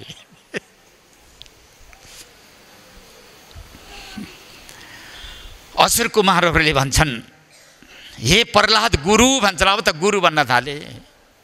तपाईँलाई यस्तो राम्रो उपदेश कसले सुनायो? कहाँबाट पढ्नु हो? हामी सँगसँगै बसेका छौँ उठेका छौँ। यस्ता पारमार्थिक विषयवस्तु हामीलाई उपदेश गर्नुभयो। कसले सिकायो? कोबाट तपाईँले सिक्नुभयो भनेको मलाई मेरा गुरुले पढाउनु भयो। तपाईँको गुरु त हामीले देख्दै देखेका छैनौँ। गुरु भनेका सण्ड र अमरका उनले त राजनीति पढाए कुटनीति मात्रै पढाए। यस्तो त पढाएन मेरो गुरु नारद हुनुहुन्छ। नारद कहिले आउनुभयो तपाईँको नगिचमा भनेर सोधिरहेका थिए। पितरी प्र प्रस्थितेस्माकं तपसी मन्दराचलम युद्धोद्यमं परम चक्रुर विबुधा दानवान प्रति। मेरा पिताश्री तपश्चर्याको लागि जब जङ्गलतिर जानुभयो देवदानवको युद्ध भइरहेको थियो। सारा देवताहरू पछाडि परिरहेका थिए। म दरबारमा म कुनै ठाउँमा पनि बस्न बाँच्न सकिनँ। कहीँ भाग्दै थिएँ देवर्षि नारदले दया गर्नुभयो बाटोमा देख्नुभयो देखिसकेपछि देवर्षि नारदको शरणमा गए नारदले आफ्नो आश्रम आश्रममा लिएर जाँदै हुनुहुन्थ्यो। देवराज इन्द्र बिचमा भेटिन्छन्। इन्द्रले भन्छन् यो कयादु यसलाई मार्नको लागि मैले खोजिरहेको छु भनेर नारदको नगिचमा शब्द उच्चारण गर्दै थिएँ अरे मूर्ख इन्द्र स्त्रीवध? यदि मेरो आज्ञा उल्लङ्घन गरिस् भने तँलाई भर्खरै पातलमा पुर्याइदिन्छु भनेर देवर्षिरा साधुमा दम हुन्छ दम। तपोबल। जस्तो तस्तो होइन सांसारिक व्यक्तिमा धनबल होला महापुरुषमा तपोबल हुन्छ विद्याबल हुन्छ। नारदले उसलाई इन्द्रलाई त्यहीँ उभिने बनाइदिए यिनका गर्भमा देवभक्त छ ईश्वरको भक्त छ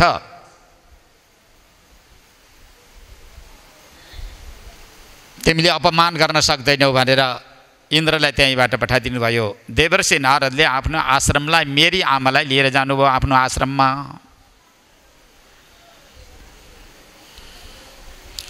देवर्षि नारदले अब आश्रममा ल्याएर भागवत सुनाउन थाल्नुभयो जन्मादेश्य यतोन्वयादितरतश्चार्थे सुविज्ञ स्वराट तेने ब्रह्महृदयादि कवये मुह्यन्ति यत् सूरय पुरा भागवत ऋषिहरूका बिचमा कयादुला राख्नुभयो महात्माको हृदयमा दया हुन्छ महात्माको नजिकमा न्याय हुन्छ अन्याय हुँदैन जो डराइरहेको छ भयभीत भएको छ तिनलाई अभय दान दिने को हो भन्दा संसारमा महापुरुष हुन्। निर्भीकतापूर्वक रहने आज्ञा गर्नुभयो भागवत सुनाउनु भयो कयादुले कति सुनिन् थाहा भएन गर्भस्थ शिशुले सुन्न थालेर उसले बुझेको अनुमोदन गर्न थाल्यो भित्रबाट।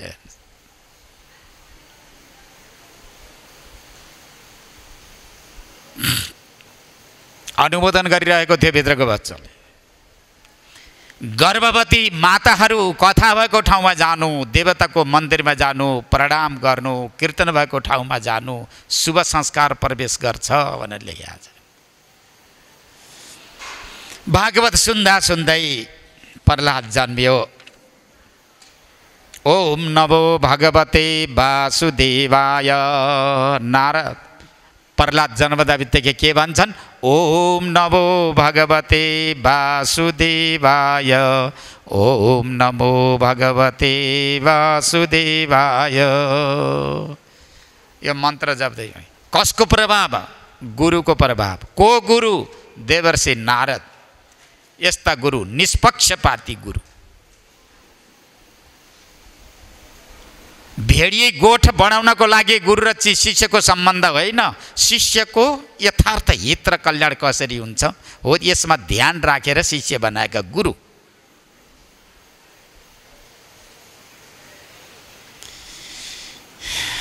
गुरुमा हुने गुण जुन हुन्छन् ती गुणहरू शिष्यका लागि कल्पवृक्ष हुन्छ। शिष्य शिष्य भावनामा रहेको गुरु गुरु भावनामा रह्यो भने मात्र बल्ल कल्याण हुन्छ नत्र भने कल्याण हुँदैन। गुरु र शिष्यको सम्बन्ध भयो। कयाधु र देवर्षि नारद नारदले उपदेश गर्नुभयो प्रह्लादले सुने जन्मे ओम नमो भगवती वासुदेवाय मन्त्र जप्दै। उनको जन्म हुन्छ मेरो जन्म यसरी भयो। तिनै गुण तपाईँहरूलाई उपदेश गर्दैछु भनेर प्रह्लादले त्यहाँ सुनाए। सुनाइसकेपछि अब हिरण्यकश्यपु जागेको थियो। निकै दण्ड दिन थाल्यो। दण्डबाट उनी हटेनन् डराएनन् अनि अन्तिम समय आयो। न केवलं भवतश्च राजन सबै बलम बलिनाम चापरेसाम यो संसारमा सबैभन्दा बलियो भनेको भगवान् वासुदेव नारायण हुनुहुन्छ परमात्मा हुनुहुन्छ। उसैको अधीनमा सारा देवी देवताहरू रहेका हुन्छन्। पिताश्री भगवान्को भजन गर्नुहोस् भक्ति गर्नुहोस् तपाईँको कल्याण हुन्छ भनेर धेरै रूपले यहाँ प्रह्लादले सम्झाउँदै थिए। अब मेरो अगाडि धेरै बोल्नु हुँदैन मूर्ख। तेरो अब नगिचमा मृत्यु आएको छ जस्तो मलाई लाग्छ। अब त यदि बाँच्नु छ भने मेरो पक्षधर बन होइन भनेदेखि अब तेरो शिर र धाड दुईतिर हुँदैछ भनेर। हिरण्यकश्यपुले भन्यो मर्ने व्यक्तिका यस्तै शब्द हुन्छन् भनेर भन्दै थियो। ल यदि तेरो नारायण हो भने कहाँ कहाँ छ कुन कुन ठाउँमा छ मलाई बताइ भनेर भन्छन्। प्रह्लादले भन्छन् हात जोडेर अश्रुपात गर्दै भगवान् मेरो नारायण मेरो वासुदेव मेरो उपास्य देव कहाँ छैन? कहाँ छ भनेर तपाईँले भन्नुहुन्छ कहाँ छैन मैले भन्छु। त्यो मेरो परमात्मा सर्वत्र छ। यसरी नारायणको वकालत गर्ने प्रह्लाद अब अन्तिम समय हातमा तरबार लिएर उभिरहेको थियो। अगाडिको ठुलो थाम थियो के यसमा पनि छ भन्दाखेरि यदि तिम्रो आँखा छन् भने छ आँखा छैन भने छैन भन्छ उसले निर्धक्क भएर उसलाई केही डर छैन। निर्धक्क भएर तिमीलाई तिम्रो आँखा। सर्वत्र परमात्मा देख्ने तिम्रा नेत्र छन् भने परमात्मा यो थम्बामा पनि छन्। मेरो दृष्टिमा छन्। तिम्रो दृष्टिमा नहुन सक्छन् भनेर यसरी प्रह्लादले भन्दै थिए अनि तरबार उठाएको थियो। सत्यम विधातुं निजविरित्यवासितं व्याप्तिं च भूतेष्वखिलेषु चात्मनः अदृश्यतात्यद्भुतमुद् रूपमद् मुद्वहन् स्तम्भे सभायां न मृगं न मानुषम्। एक तरबारले थाममा हानेको थियो त्यही फुट्छ फुटिसकेपछि नृसिंह भगवानको अवतार हुन्छ। बोल सच्चिदानन्द भगवानको। बडा विचित्र छ। उसले भनेको थियो पहिले मनुष्यबाट मृत्यु नहोस् जनावरबाट मृत्यु नहोस् सायमकालमा नहोस् भित्र नहोस् बाहिर नहोस् दिनमा नहोस् रातमा यो कई प्रकारका शर्त राखिराखेको थियो त्यहाँ हेर्दा न मृगम न मानुष भनिन्छ शिरदेखि माथि सिंह तल। मनुष्य बडा विचित्रको रूप।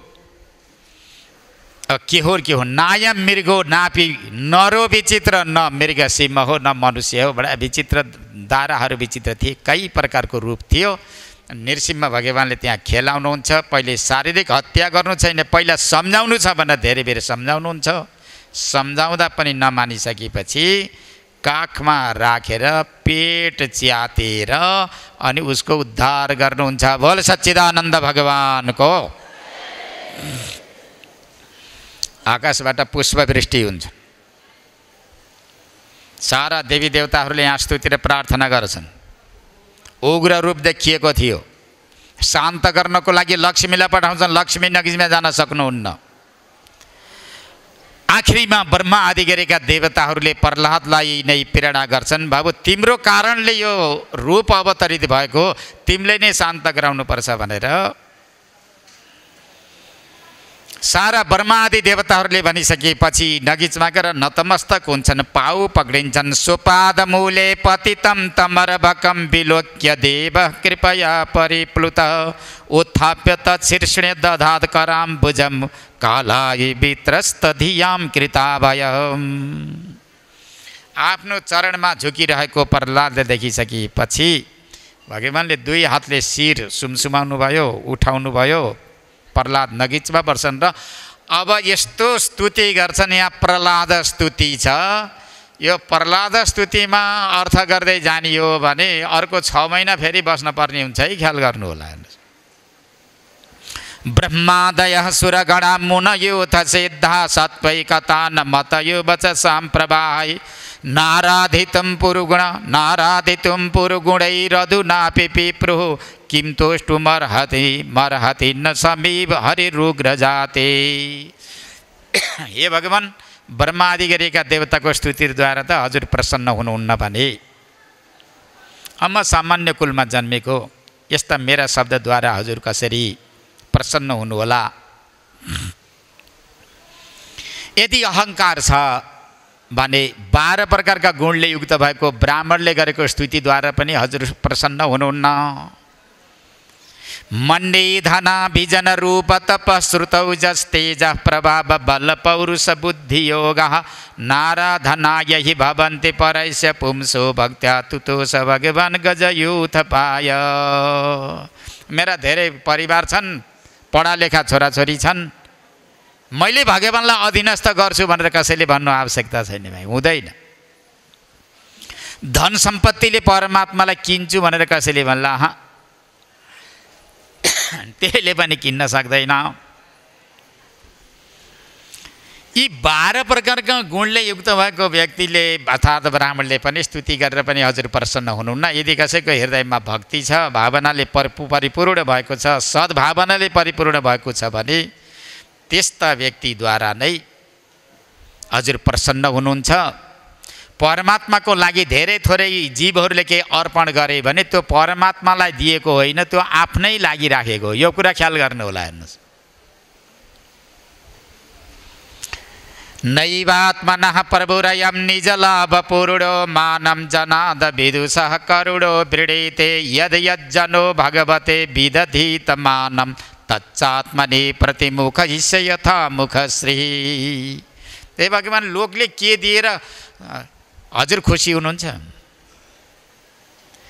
धन सम्पत्ति केही समर्पण गरेर मैले खुसी बनाउँछु भन्यो भने यत्रो विश्व ब्रह्माण्ड रचना गर्ने हजुरलाई त्यसले के दिन्छ र कुन वस्तु पदार्थद्वारा तपाईँ प्रसन्न हुनुहुन्छ त्यही पनि सामान्य व्यक्तिले यदि तपाईँमा समर्पण गर्यो भने तपाईँले स्वीकार त गर्नुहुन्छ तर त्यो स्वीकार गरेको के हो भने तपाईँलाई समर्पण गर्नु नै उसले आफूलाई दिने। पक्का बैङ्कमा लगाएर जम्मा गर्नु हो। परमात्माको नाममा उठाएर यदि कसैले बा जो कोही वस्तु दिन्छ त्यो दिनु के हो? आफ्नो लागि हो त्यो। जस्तो यथामुखश्री भनेर बताइन्छ। कसैले निधारमा टिका तिलक लगायो भने त्यो निधारमा लगाएको टिको टिको लगाएर यदि त्यो ऊ हेरो दर्पण हेऱ्यो भने दर्पण सुन्दर देखिन्छ। त्यो सुन्दर देखिएको दर्पण कसको मुख हो? आफ्नै मुख हो भाइ। आफ्नै मुख हो। अर्थात् परमात्मालाई केही समर्पण गर्यो भनेदेखि समर्पित वस्तु त्यो व्यक्ति आफ्नै लागि। अहिले भन्छन् नि व्यक्तिले दान गरेँ ब्राह्मणलाई दान गरे बा अमुक यज्ञमा दान गरेँ भन्छ। त्यो दान गरेको कसैलाई दिएको होइन बाबु आफ्नो सुरक्षित बैङ्कमा लगेर जम्मा गरेको त्यो कस्तो दिन्छौ कस्तो दान गर्छौ? त तिमीलाई त्यस्तै प्रकारको विषयवस्तु प्राप्त हुन्छ। यस्मात् प्रिया प्रिय वियोग सयोग जन्म शोकाग्निना सकल यो निशुद्ध मान दुःखौ सदम तदपि दुःखम तद्धियाहम भूमन भ्रमा विबदमि तव दास्य योगम हे भगवान् तिमी कुशल छौ भनेर सोध्नुभएको थियो। यहाँ अव्यक्त प्रश्न छ। अहिलेसम्म अकुशल थिएँ अब कुशल हुन्छु भगवान्। अप्रिय वस्तुसँग संयोग भयो प्रिय वस्तुसँग वियोग भयो प्रिय हजुर हुनुहुन्थ्यो हजुरसँग वियोग भयो अप्रिय संसार सृष्टिसँग मेरो संयोग भयो। जसले गर्दा अत्यन्त अकुशल बनिरहेको थिएँ। सुख पाउनको लागि अझै संसारमा म भ्रमण गरिरहेँ भगवान्। अब मलाई हजुरले खिच्नुपर्छ। म हजुरको हुँ भगवान्।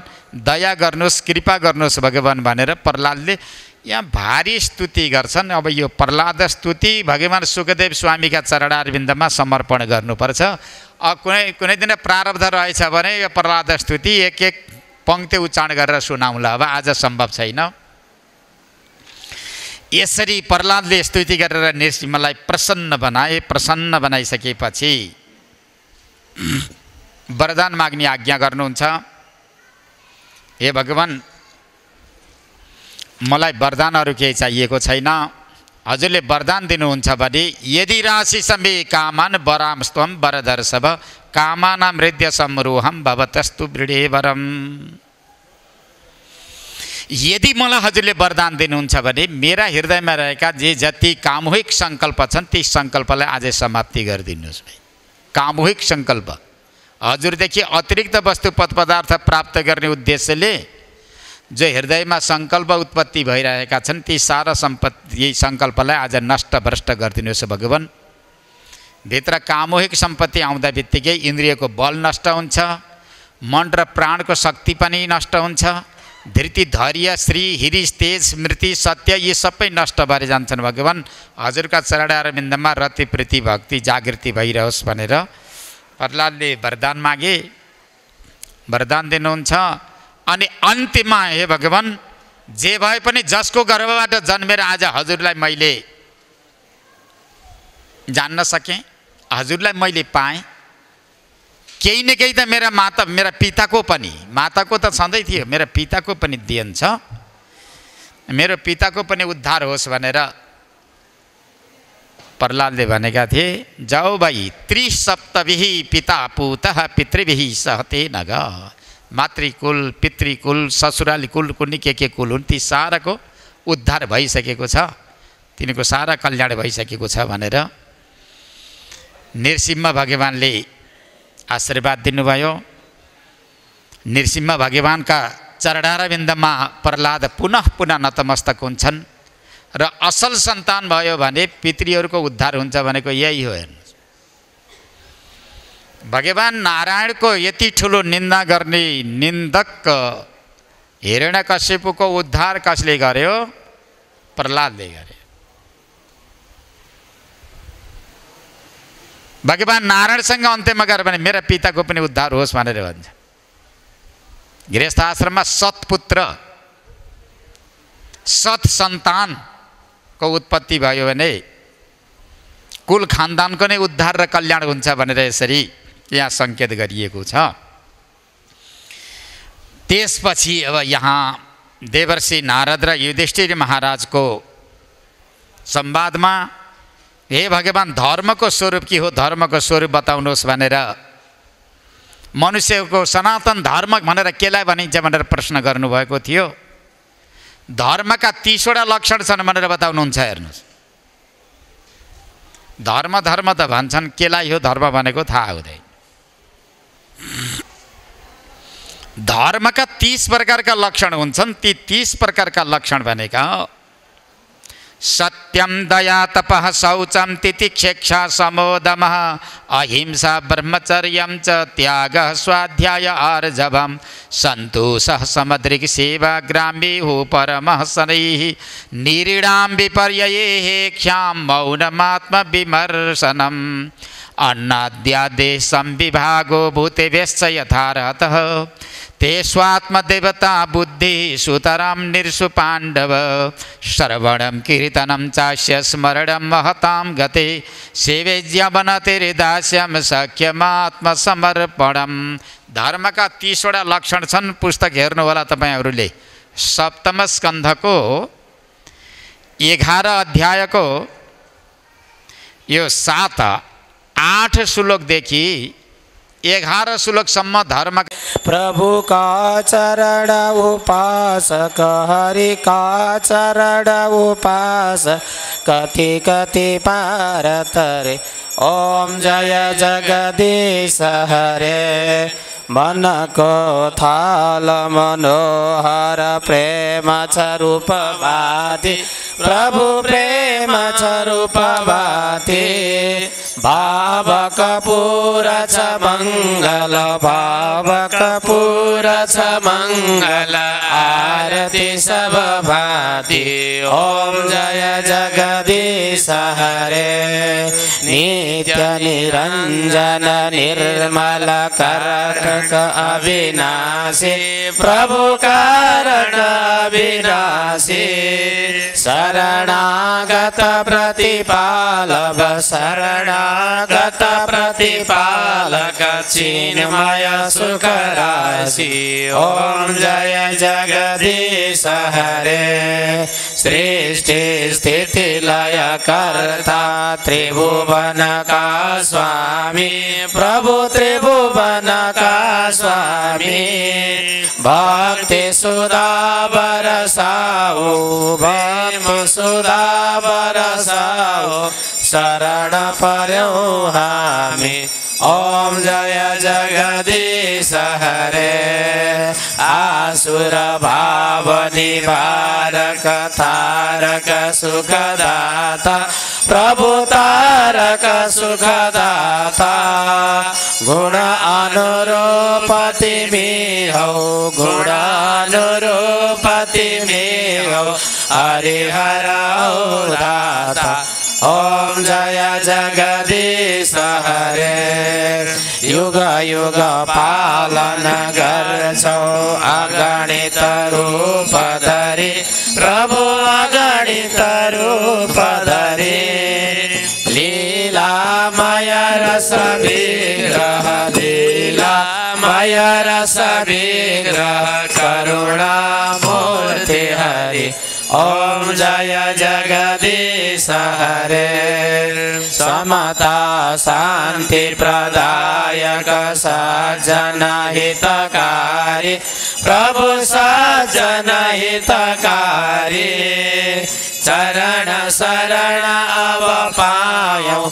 शरण शरण अब पायौ। प्रभु भव भय हरे। ॐ जय जगदीश हरे। बाबा सुनिर्मल देव साधक फलदायी। प्रभु साधक फलदायी। जीवन धान्य बनोस् प्रभु जीवन धान्य